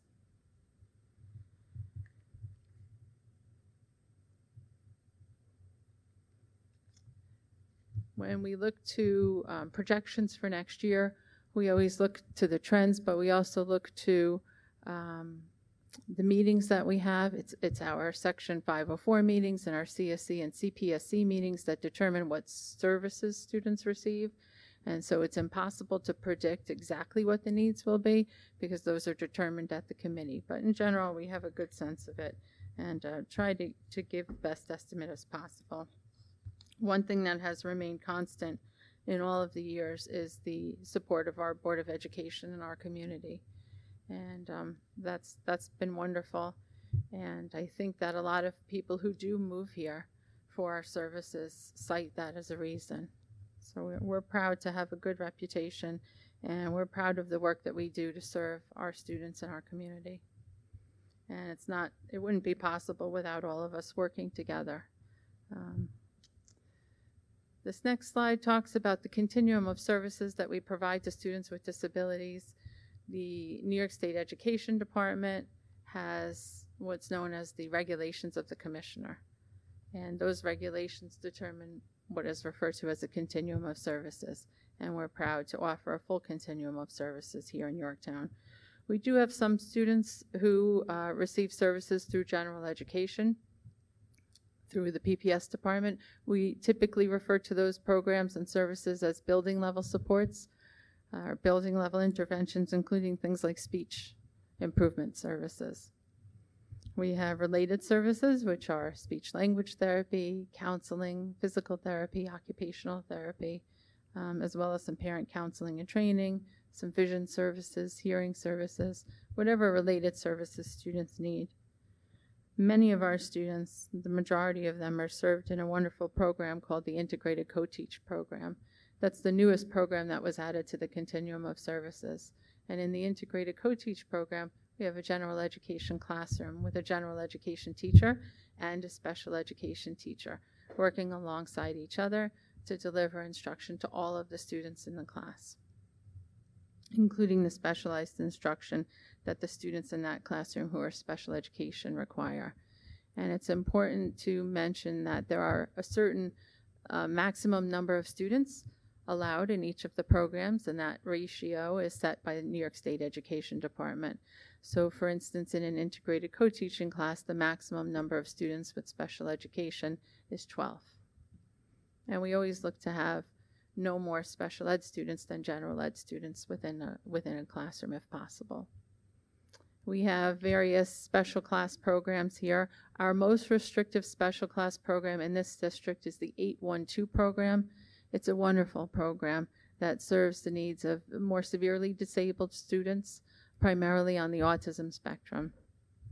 Um, we also have a 1212 program and a 15-1 program. Um, and as, as students get older, we see those ratios grow a little bit um, accordingly. We have resource room programs. We do have some students whose needs cannot be met within our own public school buildings for varying reasons. Sometimes it's we have one student in a cohort with a very particular profile and we need a specialized program for that individual. And, um, and other times we, we don't have the, um, the specialization needed to meet the needs of the students. And so for that reason, we may turn to another public school district or a BOCES program or a New York State approved private school to provide services for our, students. Um, and then sometimes we do have students who require a residential school if their needs are high enough. And sometimes home instruction or hospital instruction is required, um, preferably on short-term basis for both of those. We, we strive to meet the needs of our students within our school buildings whenever we can. And it's always a difficult decision when we need to look for a program outside of a school district for a student.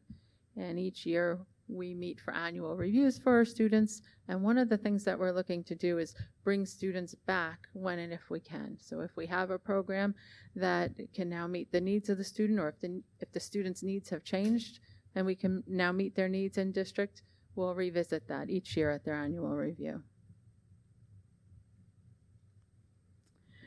For our students who are served out of district, we utilize the services of Putnam North and Westchester BOCES most frequently. We have several students at Southern Westchester BOCES in various programs. Rockland BOCES serves two of our students currently. We have some students at other public school districts and some approved private day schools in, in the region. We do service some students who are parentally placed at private schools, most notably within our district boundary. We have the St. Patrick's Parochial School, and we serve 17 students there currently. We have two students at a yeshiva that we service as well. And as I mentioned earlier, we have some approved residential schools that we have students at. And our department arranges services as well as the meetings and the evaluations for all of the students every year, including the students who are placed at out of district programs. One of the needs that I mentioned has been increasing in recent years is the social emotional needs of students. And we do have a higher number of students who are requiring therapeutic supports. And although we have counseling and wonderful social workers and psychologists within our buildings, sometimes students need an, an, environment that itself can be more therapeutic in nature. And that's the biggest rise that we've seen in recent years is the number of students presenting with significant social emotional needs that require that level of therapeutic environment or setting. And so um, when we look to the students who are struggling within our schools right now, that's the biggest population. And so for that reason, we have an additional 16 students that we project will need an out of district placement over the next 12 months.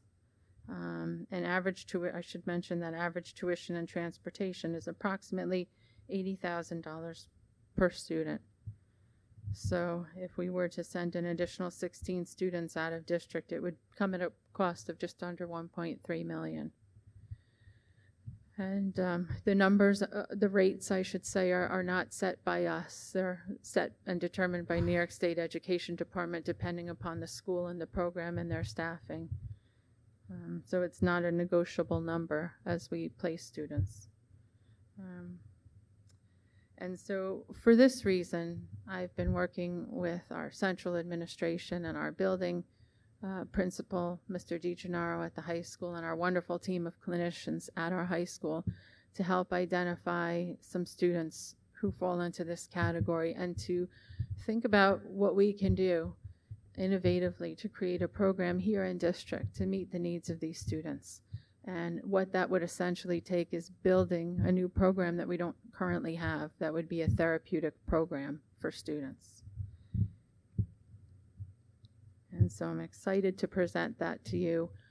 One of our um, high school teachers termed the terms it the Flex Path program, and as soon as we heard that name, we loved it.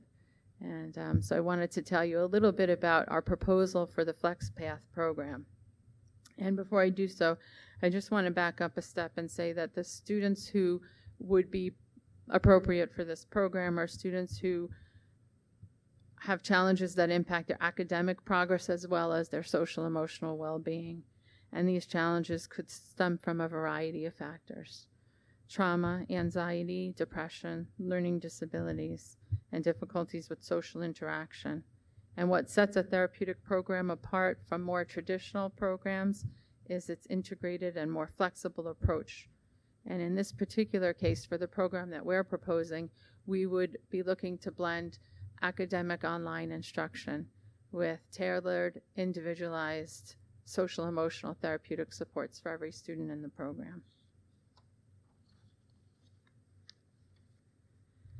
It is our hope that we can open this program in, in September of 2024.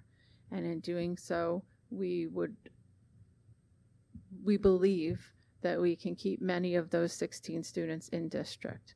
I should point out that of the 16 students that we project will need therapeutic settings, not all are high school students. This Flex Path program is proposed at the high school level for next year. Um, there are other students in need of therapeutic programs who are younger.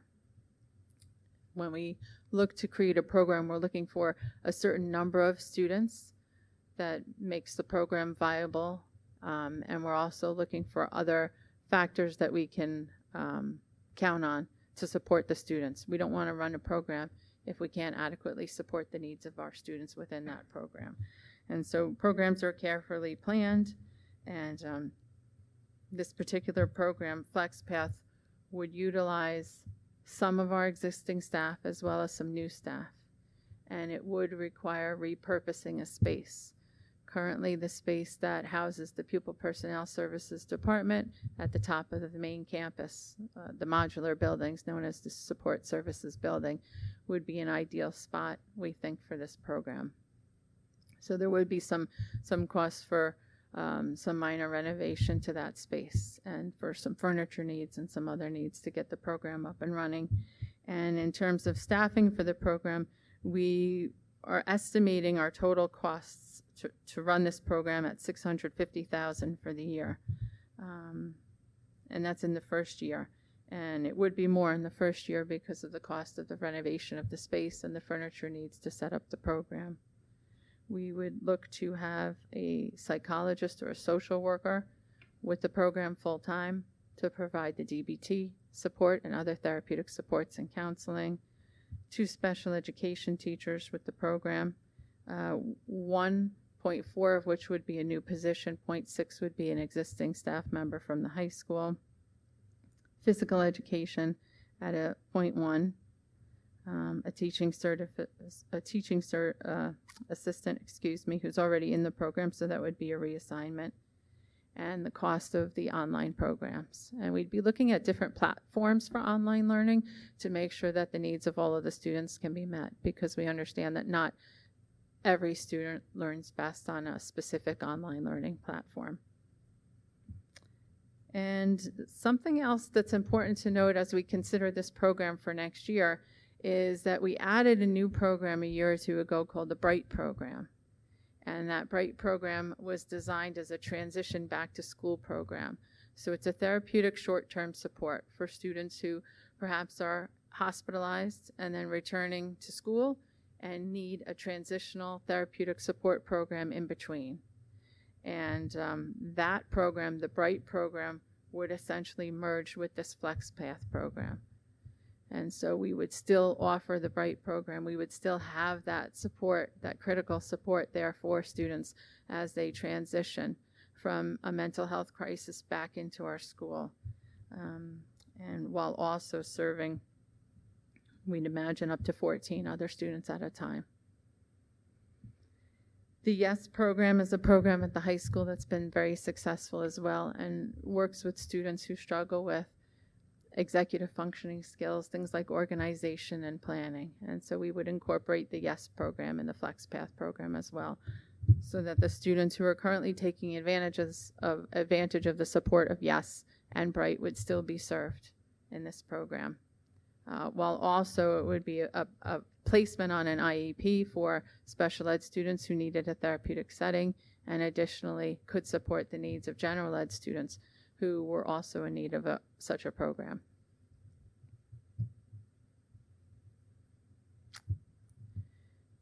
One of the other resulting effects is that if we build the program in the support services building, that would displace the pupil personnel services department. And so we would look to repurpose some of the space over at the French Hill School for, for the purpose of housing the PPS department.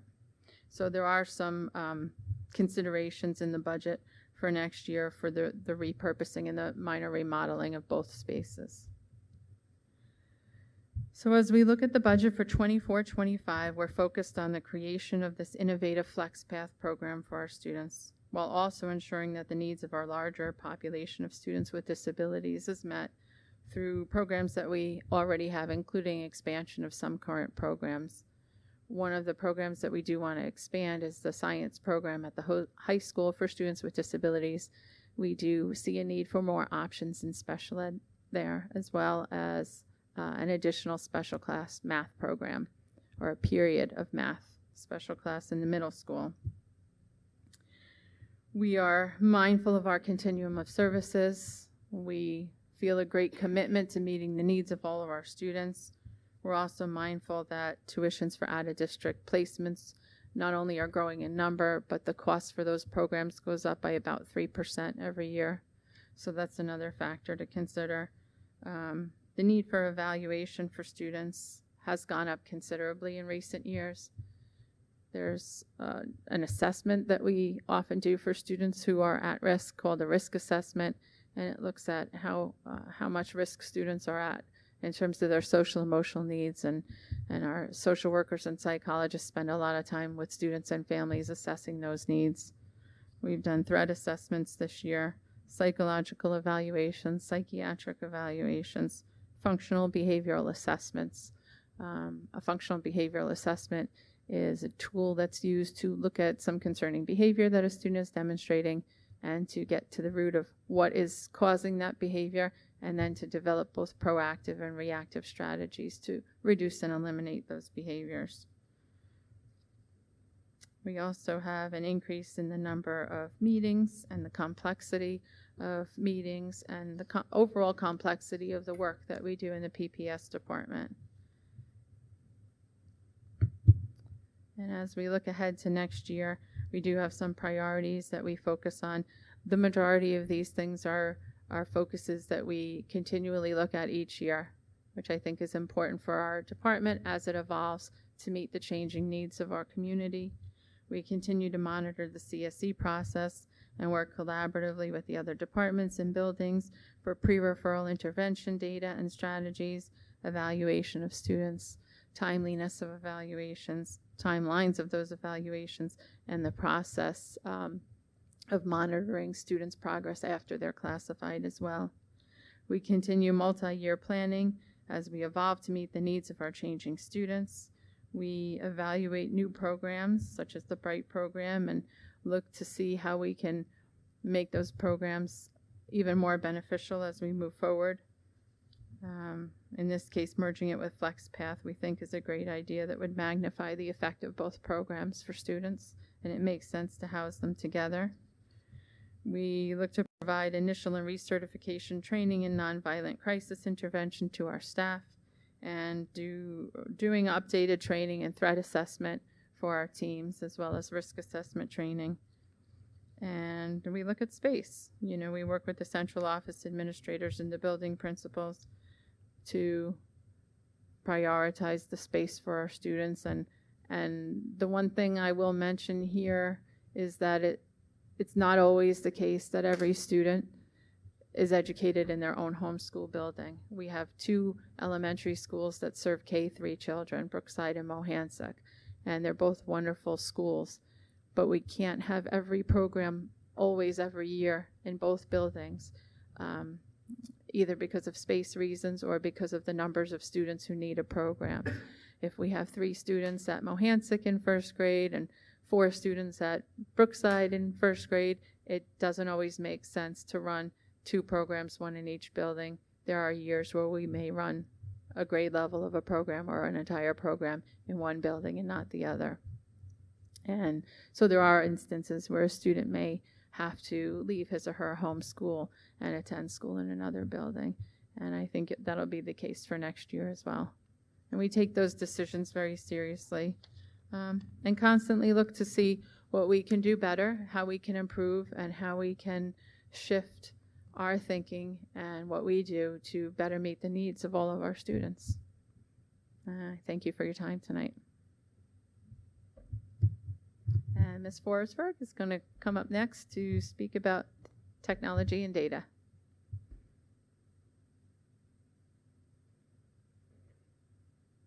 What did you do? Do you want to sit down to present? No, I can. Are you sure? I can lean on my other side. What, why don't you just, you can sit down at the table if it's easier.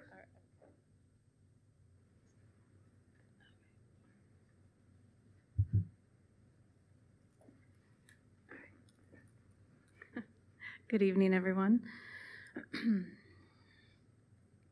so I look forward to talking about the technology and data programs here in the district.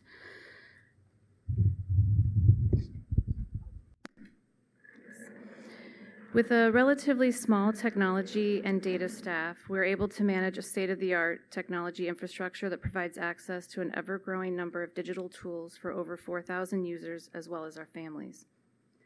This year, we are staffed with one technician per school building, which has helped with faster service to our faculty, staff, and families. The additional support also helps with our phone needs, security camera system, print management system, and day to day operations, including cybersecurity monitoring and instructional programs. I do want to take a moment to thank our five technicians, two data analysts, two instructional technology coaches, and our IT department assistant. We truly function as a problem solving team all day long. There is very little that happens in our district that does not involve either the network and or access to the internet during the school day, after school, and into the weekends. Much of the environment has not changed this year. However, there are continual upgrades and updates that are necessary to keep the district up to date. Updates this year include safety and security enhancements, additional security cameras, wireless casting technology, and more shared spaces and classrooms. This is year three of our MacBook Air pilot for teachers using one for their device, excuse me, using for their device, and we have around 200 teachers and administrators who are using the MacBook. We have been able to continue this dual platform scenario and will go into year four next year. The list of software on this slide and the next two slides are just a sample of the many software tools that our department supports and manages to keep the district safely connected. Many different types of technology outside of the instructional software tools are supported by our team. It is fair to say we support every single department with their software and any necessary integrations with our data team and single sign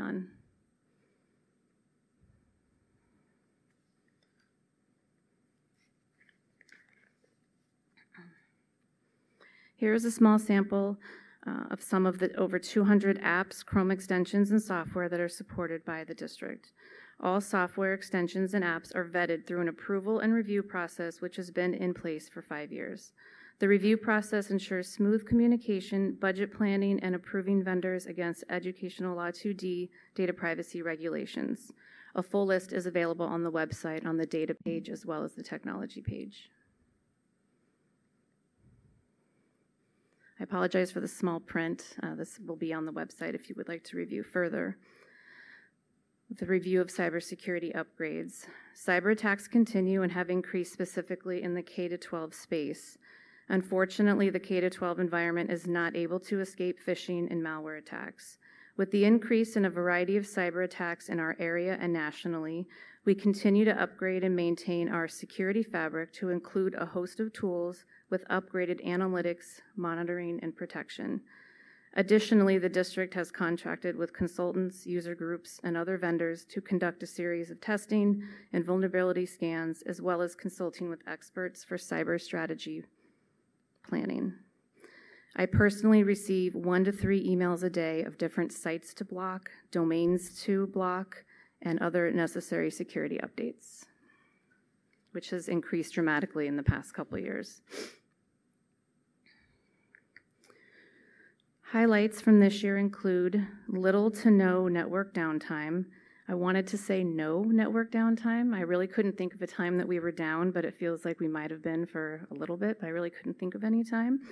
Um, we've had little to no network downtime unless it was planned for projects, and they usually take place after hours or during the school breaks. Our help desk, which is data technology together, we have worked through over 8,000 tickets since July 1st. These tickets are opened by staff, students, or families to ask for all kinds of support. Everyone in our department has access to the ticketing system, and oftentimes one of these tickets will use multiple people to collaborate and solve. While some take 30 seconds, others may take a few days due in part to more research or a part that needs to be ordered.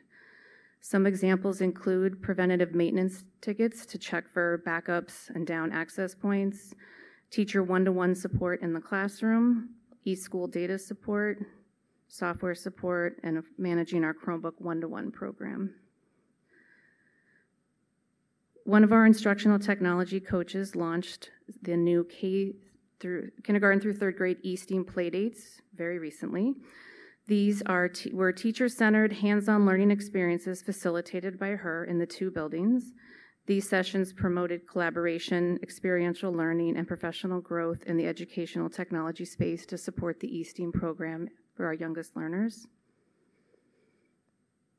We are continually looking at our 911 system to make sure it's always working. We do periodic testing, and we were able to do some updates this year, which will have better location knowledge to the 911 call center and will allow them to call back into the classroom directly or an office, wherever the call comes from. We field tested CBT in a simulation with success. This was in collaboration with Ms. Ammerling's department, our data team, and the buildings. Students had the devices they needed and the infrastructure was able to support. We are currently in the process of a few different data integration projects, which include what's called OneSync, so it's how student accounts are created and maintained, as well as an updated online system for food services. These types of collaboration projects involve eight to 10 people and are done over a series of six to 12 weeks with many deadlines along the way. And last year, we did a soft launch of a Vivi, which is a screencasting device built for education. Think of having less wires and easier ways for people to cast right to the screen from any device. We had a soft launch last year, and this year we have it in place in 60 different classrooms and offices.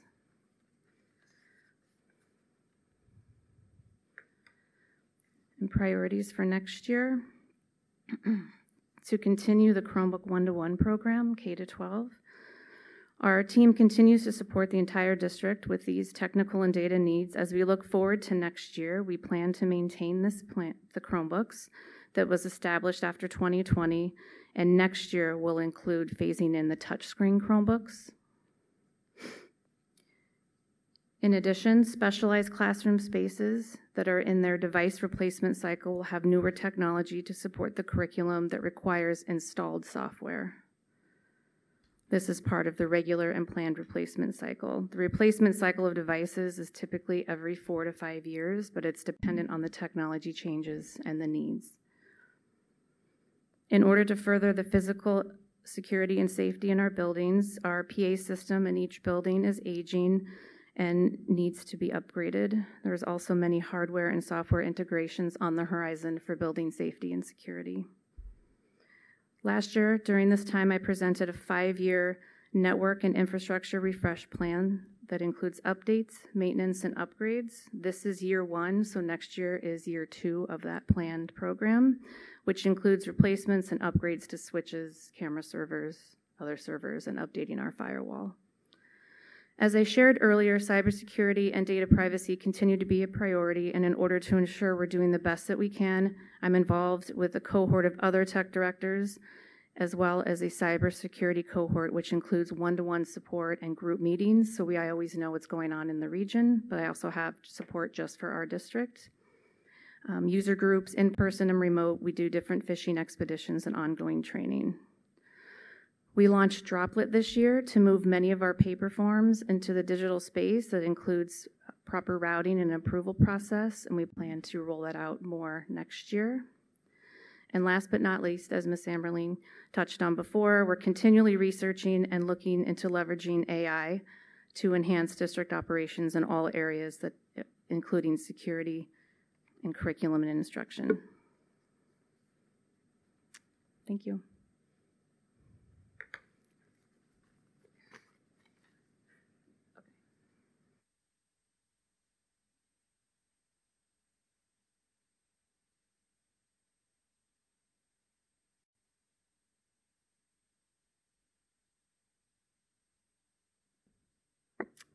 Okay, so now um, I will review the budget summary for this, uh, for the instructional program. So there are a lot of numbers on this, um, on this slide, so we will go through all of them, I promise you. Um, so I just want to take a moment and remind everyone once more that these numbers are not final and that they're still subject to change. There's still one important piece of the budget that is outstanding, and that is state aid. The state's budget is due April 1st, but it seems more and more likely that it will be late, perhaps by several weeks. The final state budget will impact the district's final budget, which will not be accepted by the board until April 15th. Hopefully, we'll have the budget numbers from the state before then, um, but it looks like it's going to be tight. Also, all department categories on the slide include salaries, equipment, contractual services, BOCES services, and supplies and materials for each category. Overall, the instructional program is increasing by 2.4%. You can see that on the bottom line. So included in the curriculum and development uh, department is the Office of the Assistant Superintendent for Curriculum and Instruction, which contains all professional development expenses district-wide and the cost of any new initiatives. The supervision line includes the principal's offices at all five buildings. It also includes our security expenses, including our SROs at each school building. That expense is increasing by $50,000 for next year. The cost of the new AP, the proposed AP for the FlexPath program is also represented in this line. If you look at the teaching regular school line and the program of student with disabilities line, you can see that um, it, it looks like some money has shifted from one line to the other, and that would actually be um, due to some reclassifications that we made this year um, of some teachers, CTAs, and TAs from the general education budget codes to special education budget codes. These reclassifications are important because it increases the accuracy of the financial data that is reported to the state each year and can impact how our state aid is calculated. So it's not necessarily that anything was added or taken away from one line or the other. It's just we discovered a teacher was coded to general education, should have been coded to special education, so we corrected that. Of the 11 teacher retirements that the district has for next year, 10 of them are from the area of general education, and several of them are currently not budgeted to be replaced due to enrollment changes. Only one teacher retirement is from the area of special education. Also in the general education line is a contingency for an additional kindergarten teacher at Brookside. Additional FTEs are also proposed in the areas of science and music at the middle school. The equipment codes overall have been reduced by about $50,000, and the contractual service codes have been reduced by about $60,000, mostly uh, because of middle states, which is a process we're going through this year. We don't need to budget for that for next year. In our programs for students with disabilities line, one teaching position that was previously funded by the one of our COVID grants is now included in the general fund. So these were positions that were hired using the federal money from COVID uh, to add to our programs, and that funding is no longer um, happening for us next year. This September is the end of it. So that position has to be incorporated into the, into the regular budget. Also included in this line are the cost of the proposed FlexPath program, a contingent special ed teacher at Mohansic, and a special ed science teacher at the high school, which is replacing five existing overages, as um, Caroline Almeida previously discussed in her slides. This line also includes all of our special education CTAs that are IEP mandated and out of district tuition costs. The next line is occupational education, and in, uh, this is the cost tuition for our high school students to attend the career and technical education programs at Port, Putnam Northern Westchester BOCES. The increase is due to increased enrollment in these programs. We have more students going out. Library and AV includes the cost of library automation systems and all databases district-wide. Educational television includes the cost of recording Board of Education meetings and other performances.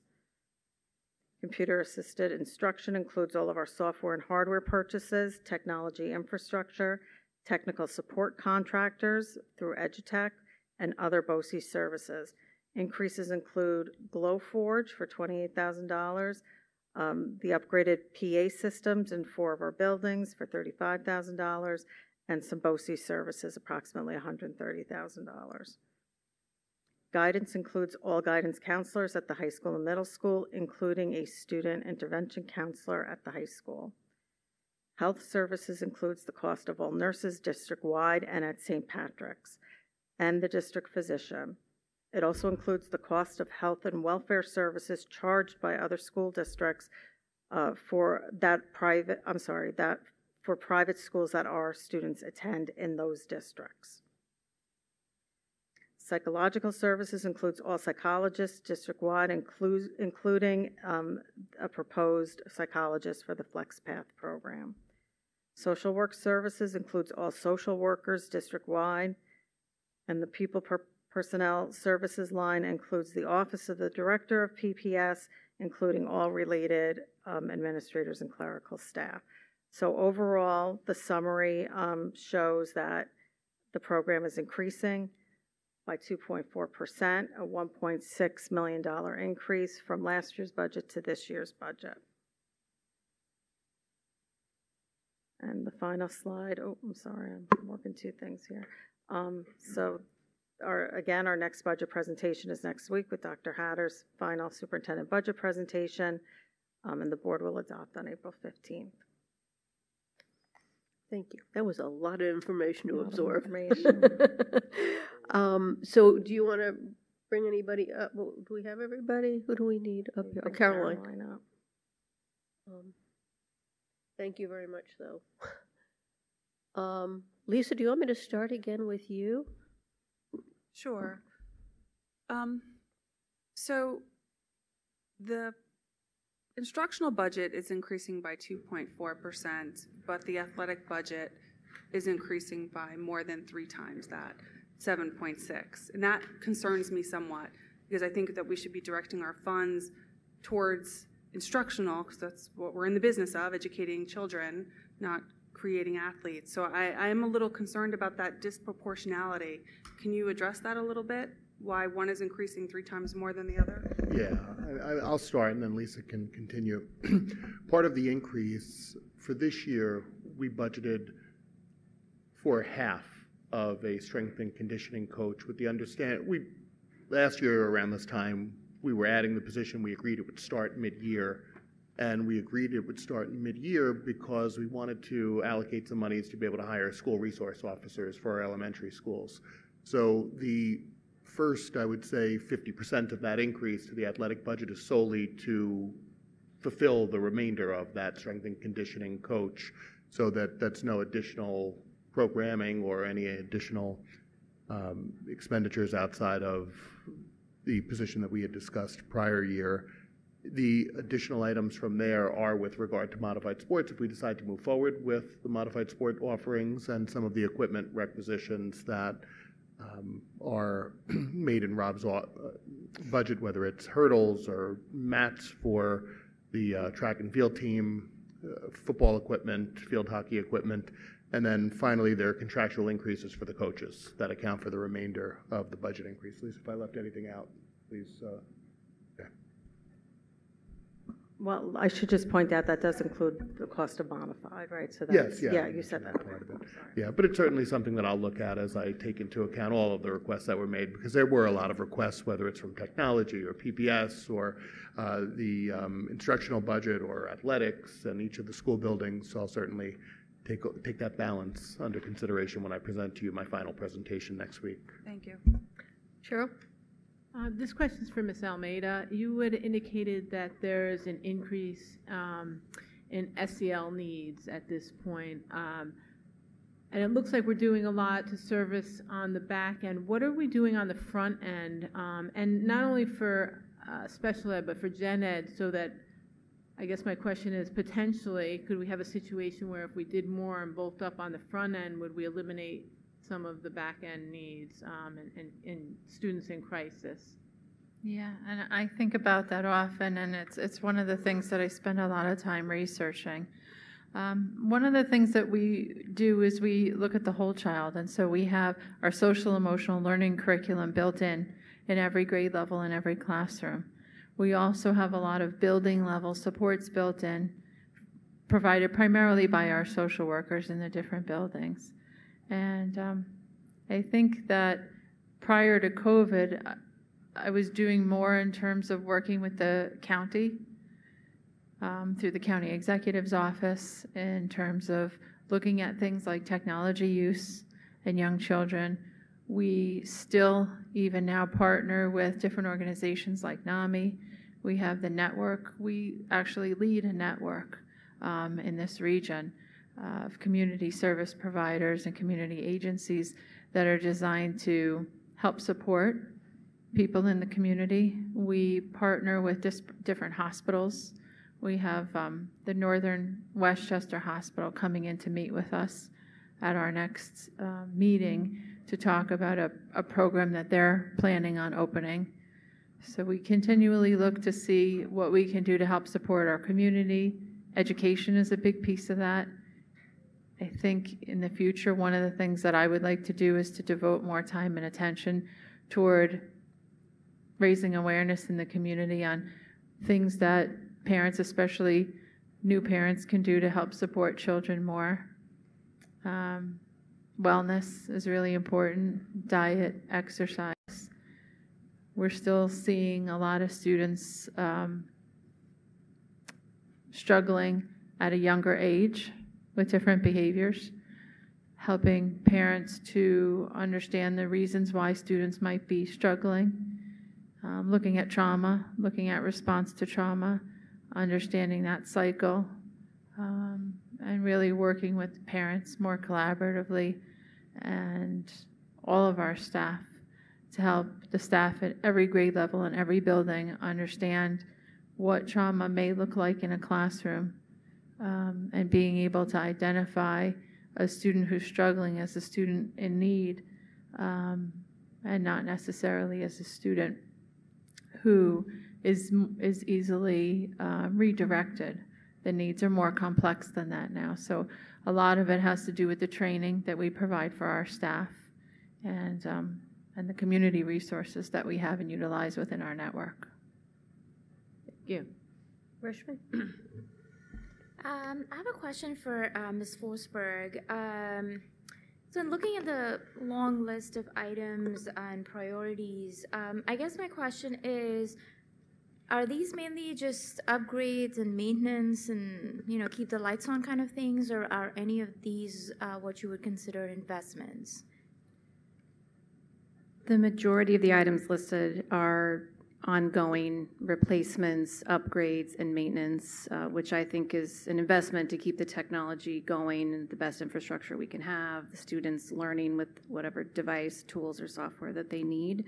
There isn't anything on here in particular that's new other than um, building safety and security type upgrades and different hardware, software, technology integrations that come along with that as, as we move into the future, which I think is an, an investment. Um, okay, thanks. Mike? Uh, my question would be somewhat similar to uh, Reshmi's. Um, first, just a, an observation: the the current program that um, you've put together for us uh, on a technology basis is truly staggering, and the upgrades I think uh, have been uh, equally as important. I guess my question is, uh, it, within this, is there any additional need for staffing uh, on your in your department, or are you strictly relying on what you have now and and doing more with you know technology? I, in all honesty, I think it would be helpful to have an additional support to help with all the cybersecurity management. There's a lot that goes into it that's that I do personally, um, and then the technicians, of course, do some of that. But I think it would be helpful to have more support in that area specifically. Okay, thanks. Adelina? My question to Ms. Almeida. So, um, without the flex program, then that could increase the budget by 500,000 if we're going to send our students out of district, right? Because this budget has the flex program. This within budget doesn't, uh, the proposal is in there for the Flex Path program, including the costs for the first year, which would be the startup cost, the the renovations for the facilities, um, and the furniture for it. So in the first year, the program would cost 650. In subsequent years, it would cost less than that. While the cost for the out-of-district tui- tuitions is approximately 80,000 per student and growing at a rate of 3% per year. This program, and forgive me if I didn't mention it before, is designed to serve students in grades 9 through 12.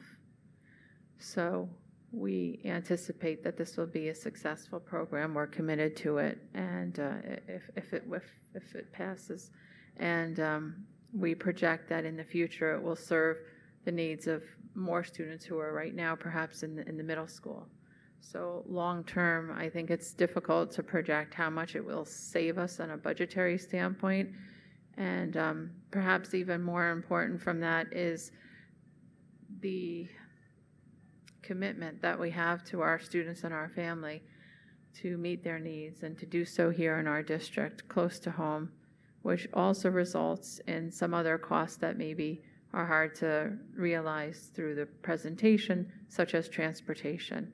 If we were to send all of these students to out-of-district programs, those programs are throughout the region, including in some cases in Rockland County. And so when we have our students here, we're not only servicing them close to home and in their community, and we think we can do it really well, uh, but we're also saving tuition costs and even transportation costs. Do you have any out-of-district students that you'd be bringing back for this program? I love that question. And as we meet with the clinical team at the high school to identify students that we are building this program for, we are remiss as we think about the students who have already gone out of district who would be a good fit for this program. And we are anticipating that there's at least one, if not two, students that may return as early as September to this program with an eye perhaps in the future on bringing some other students back. Thank you. Um, so, first of all, Caroline, I just want to thank you. Your presentation, you speak with such kindness and thoughtfulness towards all the students, and that's just so nice to hear. So, thank you. Thank not that we, not that any other special ed has ever spoken any other way, but you just have such a nice delivery. So, thank you. Um, if we put in the FlexPath program, it means that PPS goes to French Hill, which is quite a distance away from the main campus and all the other central office. So, how does that work for you? It, it would be a shift for us, but me and my entire team of staff up at the PPS office have always put the needs of the students first. And while it may be a little bit more uh, challenging to get in the car on a rainy day and drive the five minutes down the road um, and to, to come here multiple times a day, it's, it would be a pleasure to do that if it meant that our students could have the program that they need here on their home campus. Thank you. Lisa? Um, Ms. Emmerling, are there, uh, how are the new courses for the high school chosen? And are there new courses in the works for the next school year? They really do come from the teachers um, and working with the students. They really don't come from me or my office. Um, it really is born from the teachers interacting with students, looking at interests um, in their own respective areas, knowing what's out there, what fields students should be getting ready for um, after high school. Um, in terms of looking at the development of the ESTEAM courses that we want to see for the middle school, that also was largely driven by teacher interest and there wasn't a lot of continuity, certainly horizontally or vertically. So in the, the development of that, that one was where um, I certainly did get a little bit more involved in just trying to think and plan for um, giving all of those students the same type of experiences so that when they go and they reach these high school courses that they're ready for those demands and that they're able to access um, and have the skills that they need to for readiness. Um, so largely a lot of it is is just kind of like organic and it comes out of interest um, in terms of looking at the language it was a conversation that i had with um, erin fink um, guidance counselor over at the, the high school who um, said that she had been for a couple of years thinking about how beneficial american sign language and how often that has come up um, and it just seems like a lot of things kind of came together at once um, I, if I know she won't mind me sharing because she's so passionate about it, but Ms. Chesser um, lives in the deaf community um, as her sister is, is, is deaf, and sign language has been a big part of, of her family's life. Um, and she shares that openly because, again, you, uh, through conversations with different teammates in the buildings, um, you have this growing interest around something and uh, we, we partnered with some colleagues in, in Ossining and spoke to some people in White Plains and just saw how some of this has grown in, in their communities and the need for those things. So sometimes they happen um, just organically and, through conversation. Oftentimes it's teachers presenting to us things that um, they've heard from our students that they're interested in.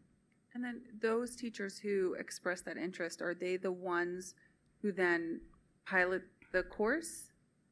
Or do you bring someone in from the outside to do it?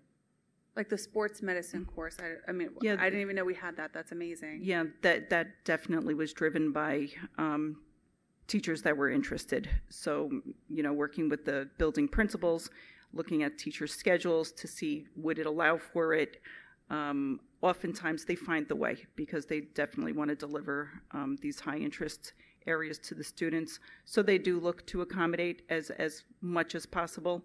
I've not heard of a course offering over the last couple of years where it was a no, we can't do that because you don't have room in your schedule. I think they're very creative at times to look to find that flexibility in, in a program, even if they're running something just for maybe one semester to see uh, what the student is and the continued interest would be in that area. All right, thank you. Sure. Staying on the same topic, I, I had a question on the new courses at YHS this year. Do we have any data uh, surrounding the enrollment in those three classes? We do. Um, some of the classes are a little bit smaller, and uh, the drone class grew from a club and developed into into a course. That one is is small right now. I, it's four students, but I do believe that um, it it will grow because it's just been so well received. It's exciting. It's it's new. It's innovative. Um, the course Sports is Medicine that had a, a larger showing. It's it was 12 students, um, and then the film is literature had 28 students register. Wow. So that was that was really interesting to see that that Yeah. one. Um, but I think as the courses grow, as students hear about them, Sure. and they look to see what fits within their program, I think sometimes our students would love to take a lot of things, but it just doesn't actually fit. Um, whether it's in the schedule or it's what are the, uh, the other courses that they're taking. Yeah, some of the subjects take a few years to take through. Yeah. so- Yeah, that makes sense. Okay, wonderful. Thank you. Rashmi? Mike? Um, Ms. Almeida, the uh, FlexPath program is something that's um, just being rolled out tonight, obviously. Um, Can you speak to two things? One is, is this something that is being done elsewhere? In in other words, is it a sort of an established program that we're bringing in? And then I I see that a lot of the teaching or learning that goes on in it is online courses. So can you just kind of speak to how that works? Yes, and thank you for those questions. I probably should have spoke a little bit more about those two pieces when I was talking. The program would be, the FlexPath program would be considered both an alternative program and a therapeutic program. And previously in this region, most of our alternative programs were not therapeutic programs. And likewise, most of our therapeutic programs were not alternative programs. And one of the drawbacks of um, and either of those types of programs, but especially a therapeutic program, is having the flexibility to be able to build a student's schedule around their needs while also serving students in a grade 9, 10, 11, 12, and having the staff to be able to teach the classes. And so, if you were to have in person instruction, a live teacher, you would need a tremendous amount of staffing because you might have one student in a Global 9 class and you might have two students in Global 10, while you have one student in economics and you have three students in English 9 and four students in English 10. But the students in English 10 can't all take English at the same time. And so the, the logistics of trying to staff the, the instructional part of that program makes it cost prohibitive to run the program. And the other thing that has failed with a lot of the um, alternative programs is the flexibility of it has to be a certain type of flexibility. And a lot of the alternative programs that I've been familiar with over the past 31 years have been flexible in perhaps what I would describe as the wrong ways.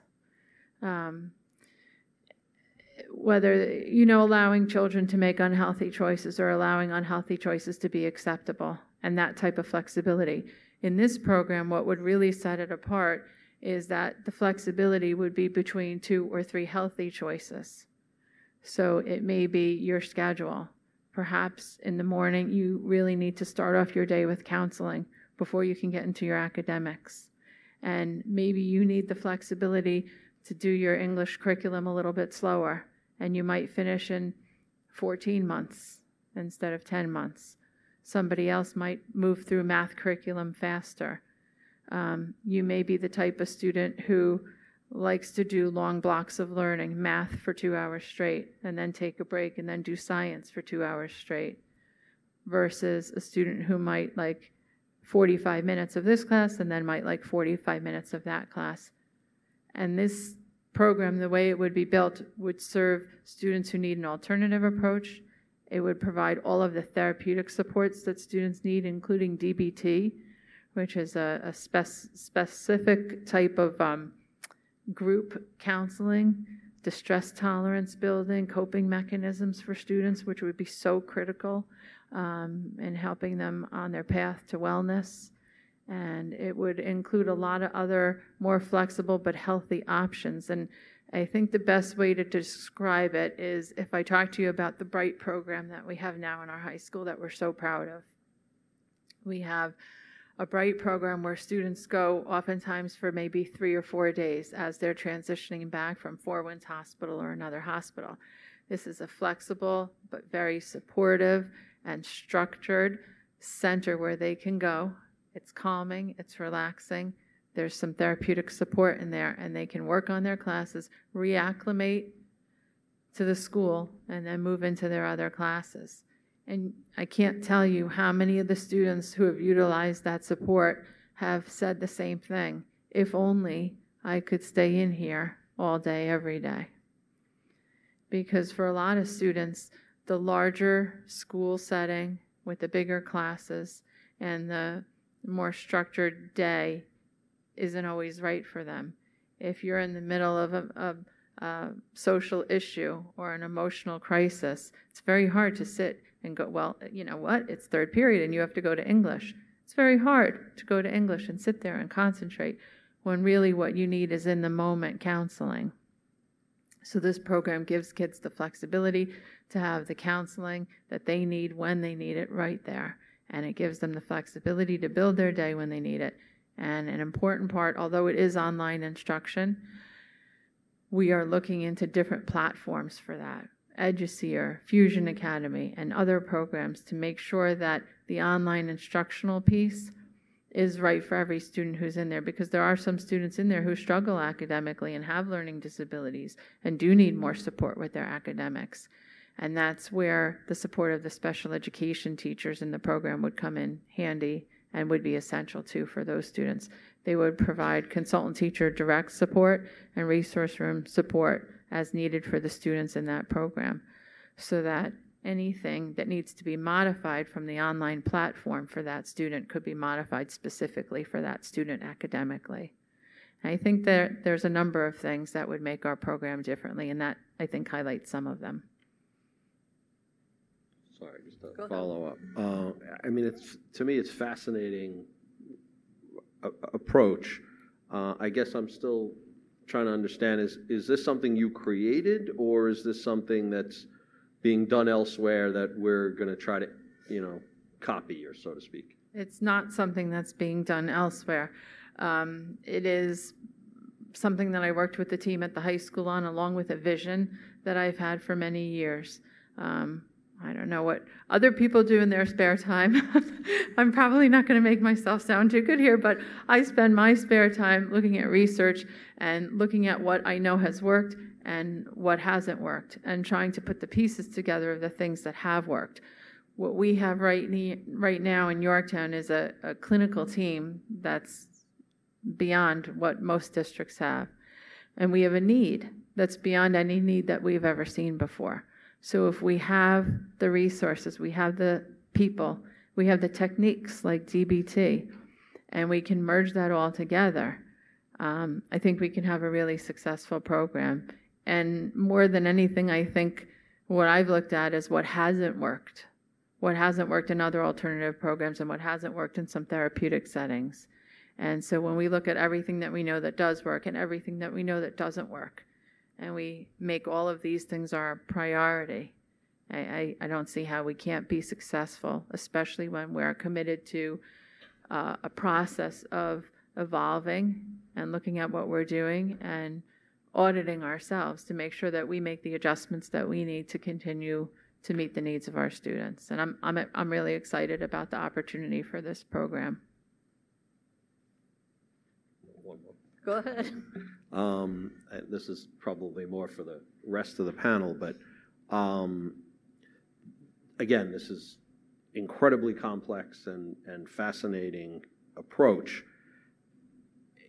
How are we going how are we to get this off the ground by September? I guess is is where I'm I'm looking at it and saying, wow, this is a lot to try to do and and accomplish in a relatively short period of time. So if we could speak just a little bit to how we plan on accomplishing that, that'd be great. I'll start, and then the team can, can weigh in. I don't, I don't think anybody on this dais here has any question, and, and even our team in the audience, we have uh, members of our central administration team in the audience as well. I don't think anyone has any even question or concern on if we can do it. I think we all believe we can do it, and we'll be able to do it, provided that we have your approval to move forward in, in, in the budget process, and it's something that I'll present next week. But it's a matter of coordinating a bunch of different departments, all who are ready, willing, and able. It's getting facilities up and running and getting them ready to move the physical plant it's getting the instructional technology ordered, which I know Jen's department can do and can do seamlessly. It's getting the staffing in place, which I know Caroline and her team will be working toward that. And, and there's a very motivated group of clinicians who stand at the ready to support the program. So it is a big lift, Mike. Without question, it's a big lift. And it's not a program that we can look at other districts for a model. There are therapeutic programs, there are alternative programs. This is a, an innovative approach in bringing those two together. So we don't have a lot in the way of mentorship to go by, but I do think that we, we have a good vision and, and a good plan that's grounded in research that will require some uh, financial investment that I do believe will be offset by retaining children within our district and avoiding the out of district tuition payment. But, but I wouldn't put it past this team to have this up and running for September. If anyone else wants to add on that, I, I, I believe that we'll be able to get this done without a problem. I think we'll have it done by July. Mm-hmm. Catalina?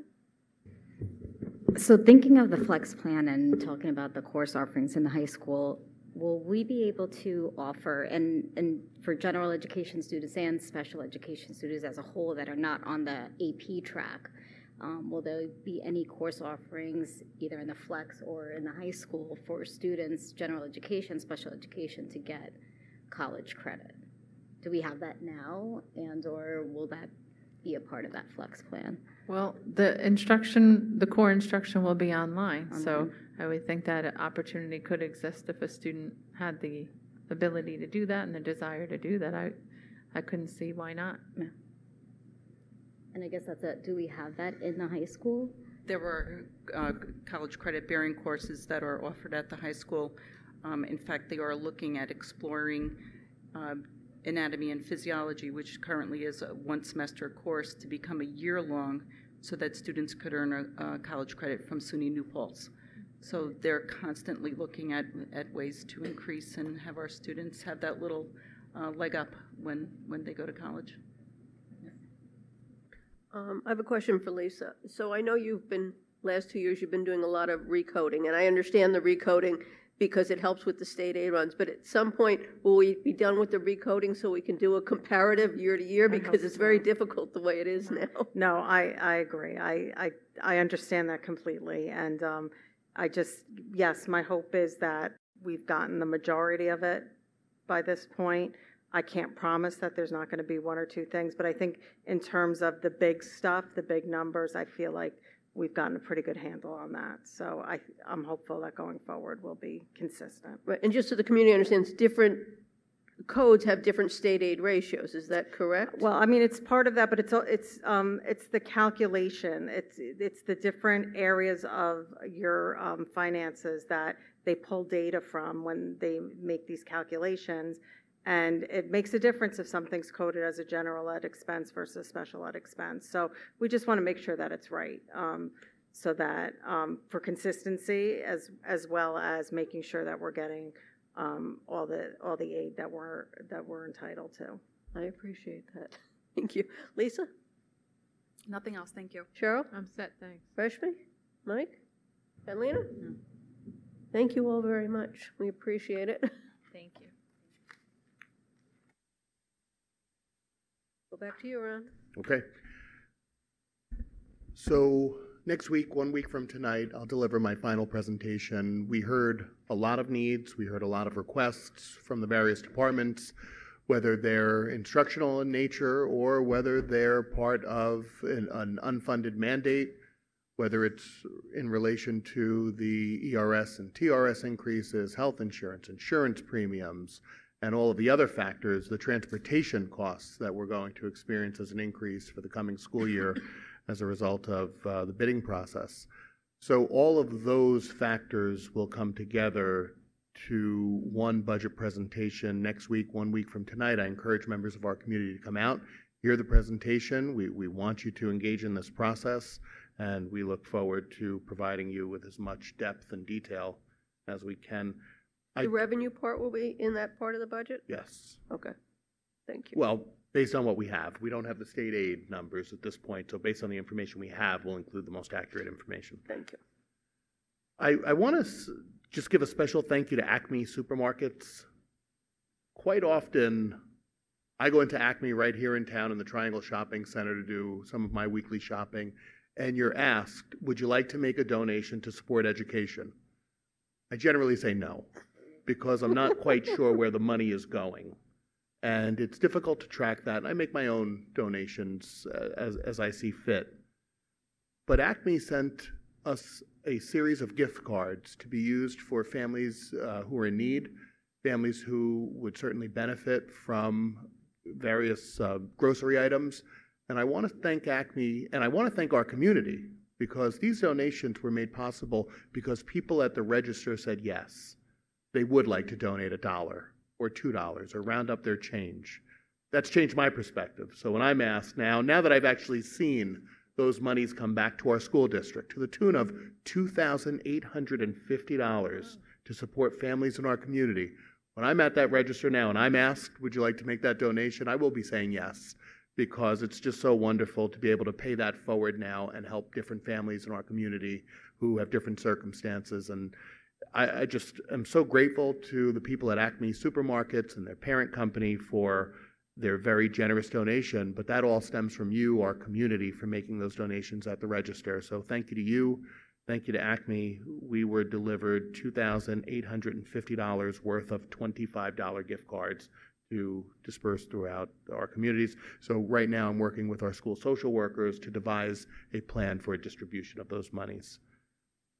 Just a couple of other quick items. Frozen Junior, the middle school, if you attended Beauty and the Beast, it was great, absolutely great. I saw so many of our younger students coming out dressed in the Belle costumes and, and just ready to go to a great show. Um, I will tell you that Frozen Junior is being put on this weekend, Friday night, March 22nd, 8, uh, 7 p.m. in our high school auditorium. Saturday night, 7 p.m., March 23rd in the high school auditorium. It's going to be great. Tickets are on sale. You can go to our website for uh, a link. Congratulations to our science research program. They participated in the WESEF competition this weekend. 23 out of 30 students who participated are receiving awards. We don't know what awards they are yet. There's an award ceremony upcoming, but to have almost 80% of the students participating being recognized for their work is, is just tremendous. And finally, I had the opportunity to teach Husker Discovery classes today. Best part of my week, maybe the best part of my year, is actually getting into the classroom. Today it was three full periods worth of instruction. Tomorrow I finish the other two classes. And we talk about interviewing and um, conversations with adults and advocating for oneself. And I was actually observed, so I, I know how our teachers now feel with the observation process. We had our middle states evaluator come to our building today to the high school to, uh, to conduct a pre-visitation for our Middle States reaccreditation. And one of the classes that was observed was my Husker Discovery class that I was teaching. So just a great day to spend with students, and, and it, I appreciate the opportunity to stay connected in the classroom as, um, as a teacher as well. So I thank you for that. That concludes my update. If you have the opportunity to come out to Frozen Junior, it is going to be great. I've seen some of the rehearsals. You're going to love it. Great. All right. We're going to move on to board reports. I'm going to start with Reshmi. Audit. All right, so we don't have any any new updates for this meeting. I hope to have an update uh, for the next one. Okay. Uh, educational vis- vision. No new updates. We will have a meeting on March 28th. Okay. Fiscal. Uh, no new updates. We have a meeting tomorrow morning. Everybody's got a meeting tomorrow. Yeah. Policy. Uh, we met on March 7th. Um, all were present except um, uh, Lisa Sanfilippo wasn't able to be with us. We discussed four policies. Three of them are pending further review as we need additional information, which is actually coming in as we speak. Um, no recommendations to the board. Follow-up items. Um, these are policies in continued review. At this point, wellness, code of conduct, and public use of facilities, and we'll be meeting next on April 11th. Okay. And I've got steering. I just want to point out, Chair, how come it's just your, your, your committee and my committee, the ones that have meetings? but steering has met twice. We met February 27th and March 12th. Um, we began discussions on the timing and the sequencing of the projects. The timing needs to be very carefully uh, lined up with our ability to borrow so that we keep this tax neutral as we promised. Um, design for the buildings is going to take about a year. Um, and so we're going to start um, and, and the beginning is good, they're beginning the process, and part of what Massey has to start to do is to get all of our building information into their systems. And once they have it all into their systems, then they actually walk the buildings to make sure everything is accurate. They can't design unless they know what they're starting with. Um, we decided we're going to start with Mohansic and Brookside first. So they will start designing those with the anticipation that those will go um, for a SED submission around January of 25. We are also going to start working on the fields, the lower field and the upper, the new field and the baseball field. And um, the reason we're going to do that is even though we're going to get that to SED hopefully in September, it's going to take a lot longer to review. It's not just SED that has to review it, it has to have a DEC review, it may have to have federal review because we're in wetlands. So that review process is going to take longer because there are more entities involved. Um, so that, that anticipated start date for the baseball field would be probably be June of 25. Um, and we are anticipating the schools will probably start in June of 26. Um, Ron is going to start scheduling meetings with the elementary stakeholders so that they start to have input. And our next meeting, we have invited athletics to be able to discuss the field needs. Our next meeting is March 26th. And that was it. Okay. Um, we're going to go up to board action items. Can I have a motion to approve the minutes of the March 4th meeting? So moved. Second. All those in favor? Aye. Aye. Opposed? Uh, motion to approve the treasurer's report for February 24. So moved. Second. All those in favor? Aye. Aye. Opposed? A motion to approve the claims audit report for February of 24. So, second. All those in favor? Aye. Opposed? A motion to approve the extra classroom report as of February 24. So moved. Second. All those in favor? Aye. opposed? Personnel, upon recommendation of the superintendent, a motion that the following be approved. Under certified personnel, we have appointments, some corrections, unpaid leave of absence, and under classified personnel, we have additions to the substitute list. So moved. Second. All those in favor? Aye. opposed? Business Office, a motion to approve the legal notice for the budget vote and election on May 21st, 2024, as stated below. So moved. Second. All those in favor? Aye. opposed? Um, Budget vote and election appointments. Resolved that the Yorktown Central School District appoints Jackie Carbone as a permanent chairperson for the 2024 annual school budget vote and election at no compensation. Resolved that the Board of Education of the Yorktown Central School District appoint to serve the- as the chief election inspector of, for the 24 annual election and school budget vote and election to be compensated a flat rate of $325 for the day and an additional time at the rate of 21.67 an hour, and that's Fatima Ahmed. Be it resolved that the Board of Education of Yorktown Central School District appoint the following individuals as election inspectors and/or alternate election inspectors for the 24 annual school budget vote and election to be compensated at a flat rate of $300 for the day and an additional time rate of $20 an hour, and they are listed below.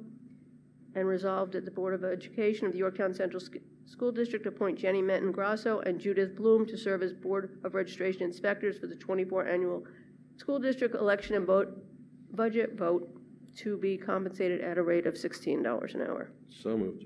Second. All those in favor? Aye. Opposed? Resolved that the Yorktown, the Yorktown Board of Education approve the agreement between the school district and the County of Westchester for the use of electronic voting machines, including the other equipment and services for the May 21st, 2024 annual meeting, and if necessary, the budget review vote to be held on June 18th, 2024. So moved. Second. All those in favor? Aye. opposed? A motion to approve the following contract for well, contracts for health and welfare services provided to resident pupils attending non-public schools in other districts for the 23-24 school year. So moved. Second. All those in favor? Aye. Um, Opposed?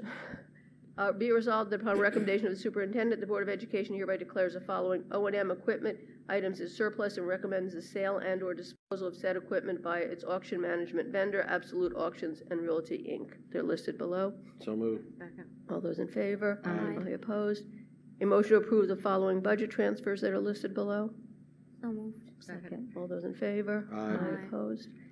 A motion to approve the following RFP awardee vendor agreements from School- Sourcewell Purchasing Cooperative for the 24, 2024 Yorktown High School Athletic Field Projects. It's A-Turf and Field Turf USA, Inc. So moved. Second. Discussion. Lisa, can you just explain why we are now approving contracts for- that are on Sourcewell, which is a state contract? So um, we typically don't approve contracts for um, things that are jointly uh, cooperatively bid. In this instance, since the- due to the size of the project and um, just to ensure that we were covered for insurance purposes, we wanted to make sure that um, we had a signed, executed contract between us and the vendor, guaranteeing that they are providing the appropriate amount of insurance for these projects. Okay, all those in favor? Aye. opposed? Special education, a motion to approve the amendment to the independent contract for the 23-24 school year. It's amendment number five for Stacy Mason. So moved. Second. All those in favor? Aye. opposed? Placements, a motion to approve the following placements as of March 18th, 2024. So moved. Second. All those in favor? Aye. opposed? Gifts, grants, and donations, a motion to accept with gratitude the following gifts, grants, and donations. At Brookside, $1,260 for the third grade excursion to the Bronx Zoo from the Brookside PTA. And at Crompond, $2,000 for the fourth grade excursion to the Museum Vil- Village from the Crompond PTA. So moved. Second. All those in favor? Aye. opposed? Board comments. Catalina. A lot of information tonight. A lot of information. And I feel like the last one we heard wa- was from Ms. Almeida, and just thank you for the vision. I know Mike had asked, you know, is there another school district that's doing this? But you're, you know, spearheading this in our district because it's what's best for our students. And, you know, even though, yes, it will save money, you spoke about how it would save children coming back and being connected to the district. So that really resonated, so thank you. Mike? Uh, Yeah, a lot, a lot of things tonight. Um, First, our, you know, we mentioned it before, but our, our middle school student presentation was just off the charts impressive. Um, uh, If that's what we're getting with these I grants, um, we, we got to keep moving forward with that. That was fabulous. Um, I wanted to also thank the presenters tonight. I know, I mean, the presentations themselves were incredible, but I know the hours and hours of work that goes into putting the budget together and and coming up with the presentations and being here and available to answer questions, and I, I truly appreciate that. And as Catalina mentioned, um, Ms. Almeida, the program that you've laid out um, is tremendous, and I hope we can come to some type of agreement on how we can implement um, something like that for our students because it would truly be beneficial to them and, and the whole district. So thank you for that. Uh, and I just want to give a shout out. Uh, I had the absolute pleasure of attending the um, Beauty and the Beast presentation on Friday night, and it I, I was blown away. I mean, our students, I know they're impressive, and I see a lot of what goes on, but um, I was struck by how how many different roles some of the, the students played, and they were, I mean, flawless. Some of them had two and three parts in the presentation, and they did just a tremendous job. Musical. musical. Sorry. Um, yeah, what I say? Too many presentations. Yeah. yeah. uh, it was great. So anyway, thank you um, for that, and uh, I'll turn it over to Rashmi. Great night uh, tonight, and uh, thank you to our um, uh, administrators for being here. It's pushing 10 o'clock, and you're still here and, you know, fielding questions and um, presenting your ideas. So thank you for um, your efforts, and uh, certainly Mrs. Emmerling, Ms. Sanfilippo, and Dr. Hattar, uh, thank you for a very informative evening. Cheryl? Yeah, thank you to our administrators for the continued uh, budget presentations. We appreciate them um, at you know all of the board meetings throughout this month and and probably April.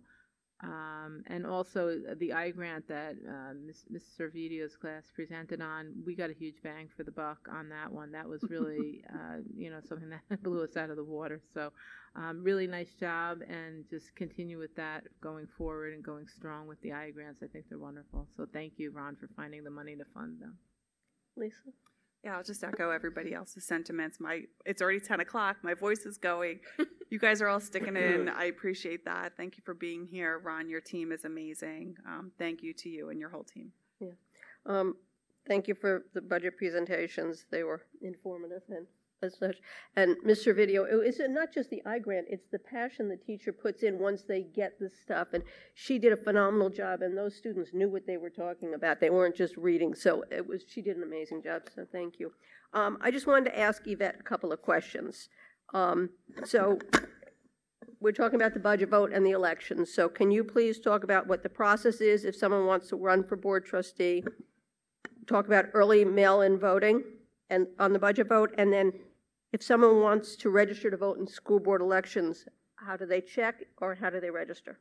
Okay, uh, to run for the school board, uh, there's currently uh, two seats that will be up. It's Jackie Carbone and Peter Bisaccia. If you want to run for the school board, you just uh, can contact me at ysiegel at yorktown.org or 914-243-8199 uh, for a petition. There's 28 signatures that are needed. The petitions are due to me um, April 22nd by 5 o'clock. Um, and um, I have on the website, the district website here, some information on running for the school board and some um, helpful uh, links that will help anyone that get, get more information on what it takes to be a school board member through Westchester Putnam School Boards Association and NYSSBA. Um, and then to for the early mail that you asked, um, this year that we had early mail ballots available for the bond vote uh, was very successful, and um, you can also obtain early mail ballot applications through me. You first have to file uh, fill out an application um, for it to obtain a ballot. So it's also similar to like the absentee. It's very similar in the sense that um, when you need a reason, and with the early mail ballots, you don't need a reason. Um, and that you could contact me again. Same information for the petition. Contact me, and I will supply that to you. You have to fill out an application first to get the ballot. Once we verify you are a registered voter, I will send you the ballot. Um, you could send it to me at least seven days before the um, budget vote or uh, give it to me personally at the office. Um, and then voter registration. We offer personal registration all throughout the year from 8 a.m. to 3 p.m. Uh, again, contact me and I will help you get registered. If you register with me, you can um, register with the um, New York State voter registration form. I have that available. And I also have the school budget vote and election registration, which, but that will just mean that you can only vote in the school district. Um, and the last date to register for that is May 16th, five days before the actual election. So if somebody doesn't know if they're registered, how do they check? Call me and I could check. Okay. Did I think I covered everything? All right. Hope I wasn't too And fast, everything is on the website, correct? Everything is on the website. Um, I have uh, voter information here, what it, what's, what the requirements are to be a registered voter. I have the um, voter registration and process through New York State and my information, some information about absentee ballots and early mail ballots, and then, uh, again, running for the seat on the school board. Is that on the homepage, like the landing page? That's on the Board of Education tab. I believe there's also a link on the budget tab, which is on the home page as well. He connected it. Yeah. So if you go at the home page and click on budget, you're going to get to the same information as well. Right there. Right there. Okay. All right. Um, we're up to public comment. Anybody? No. No. That means we're up to a motion to adjourn. So moved. Second. All those in favor? Aye. Opposed? Thank you all very much. Good night.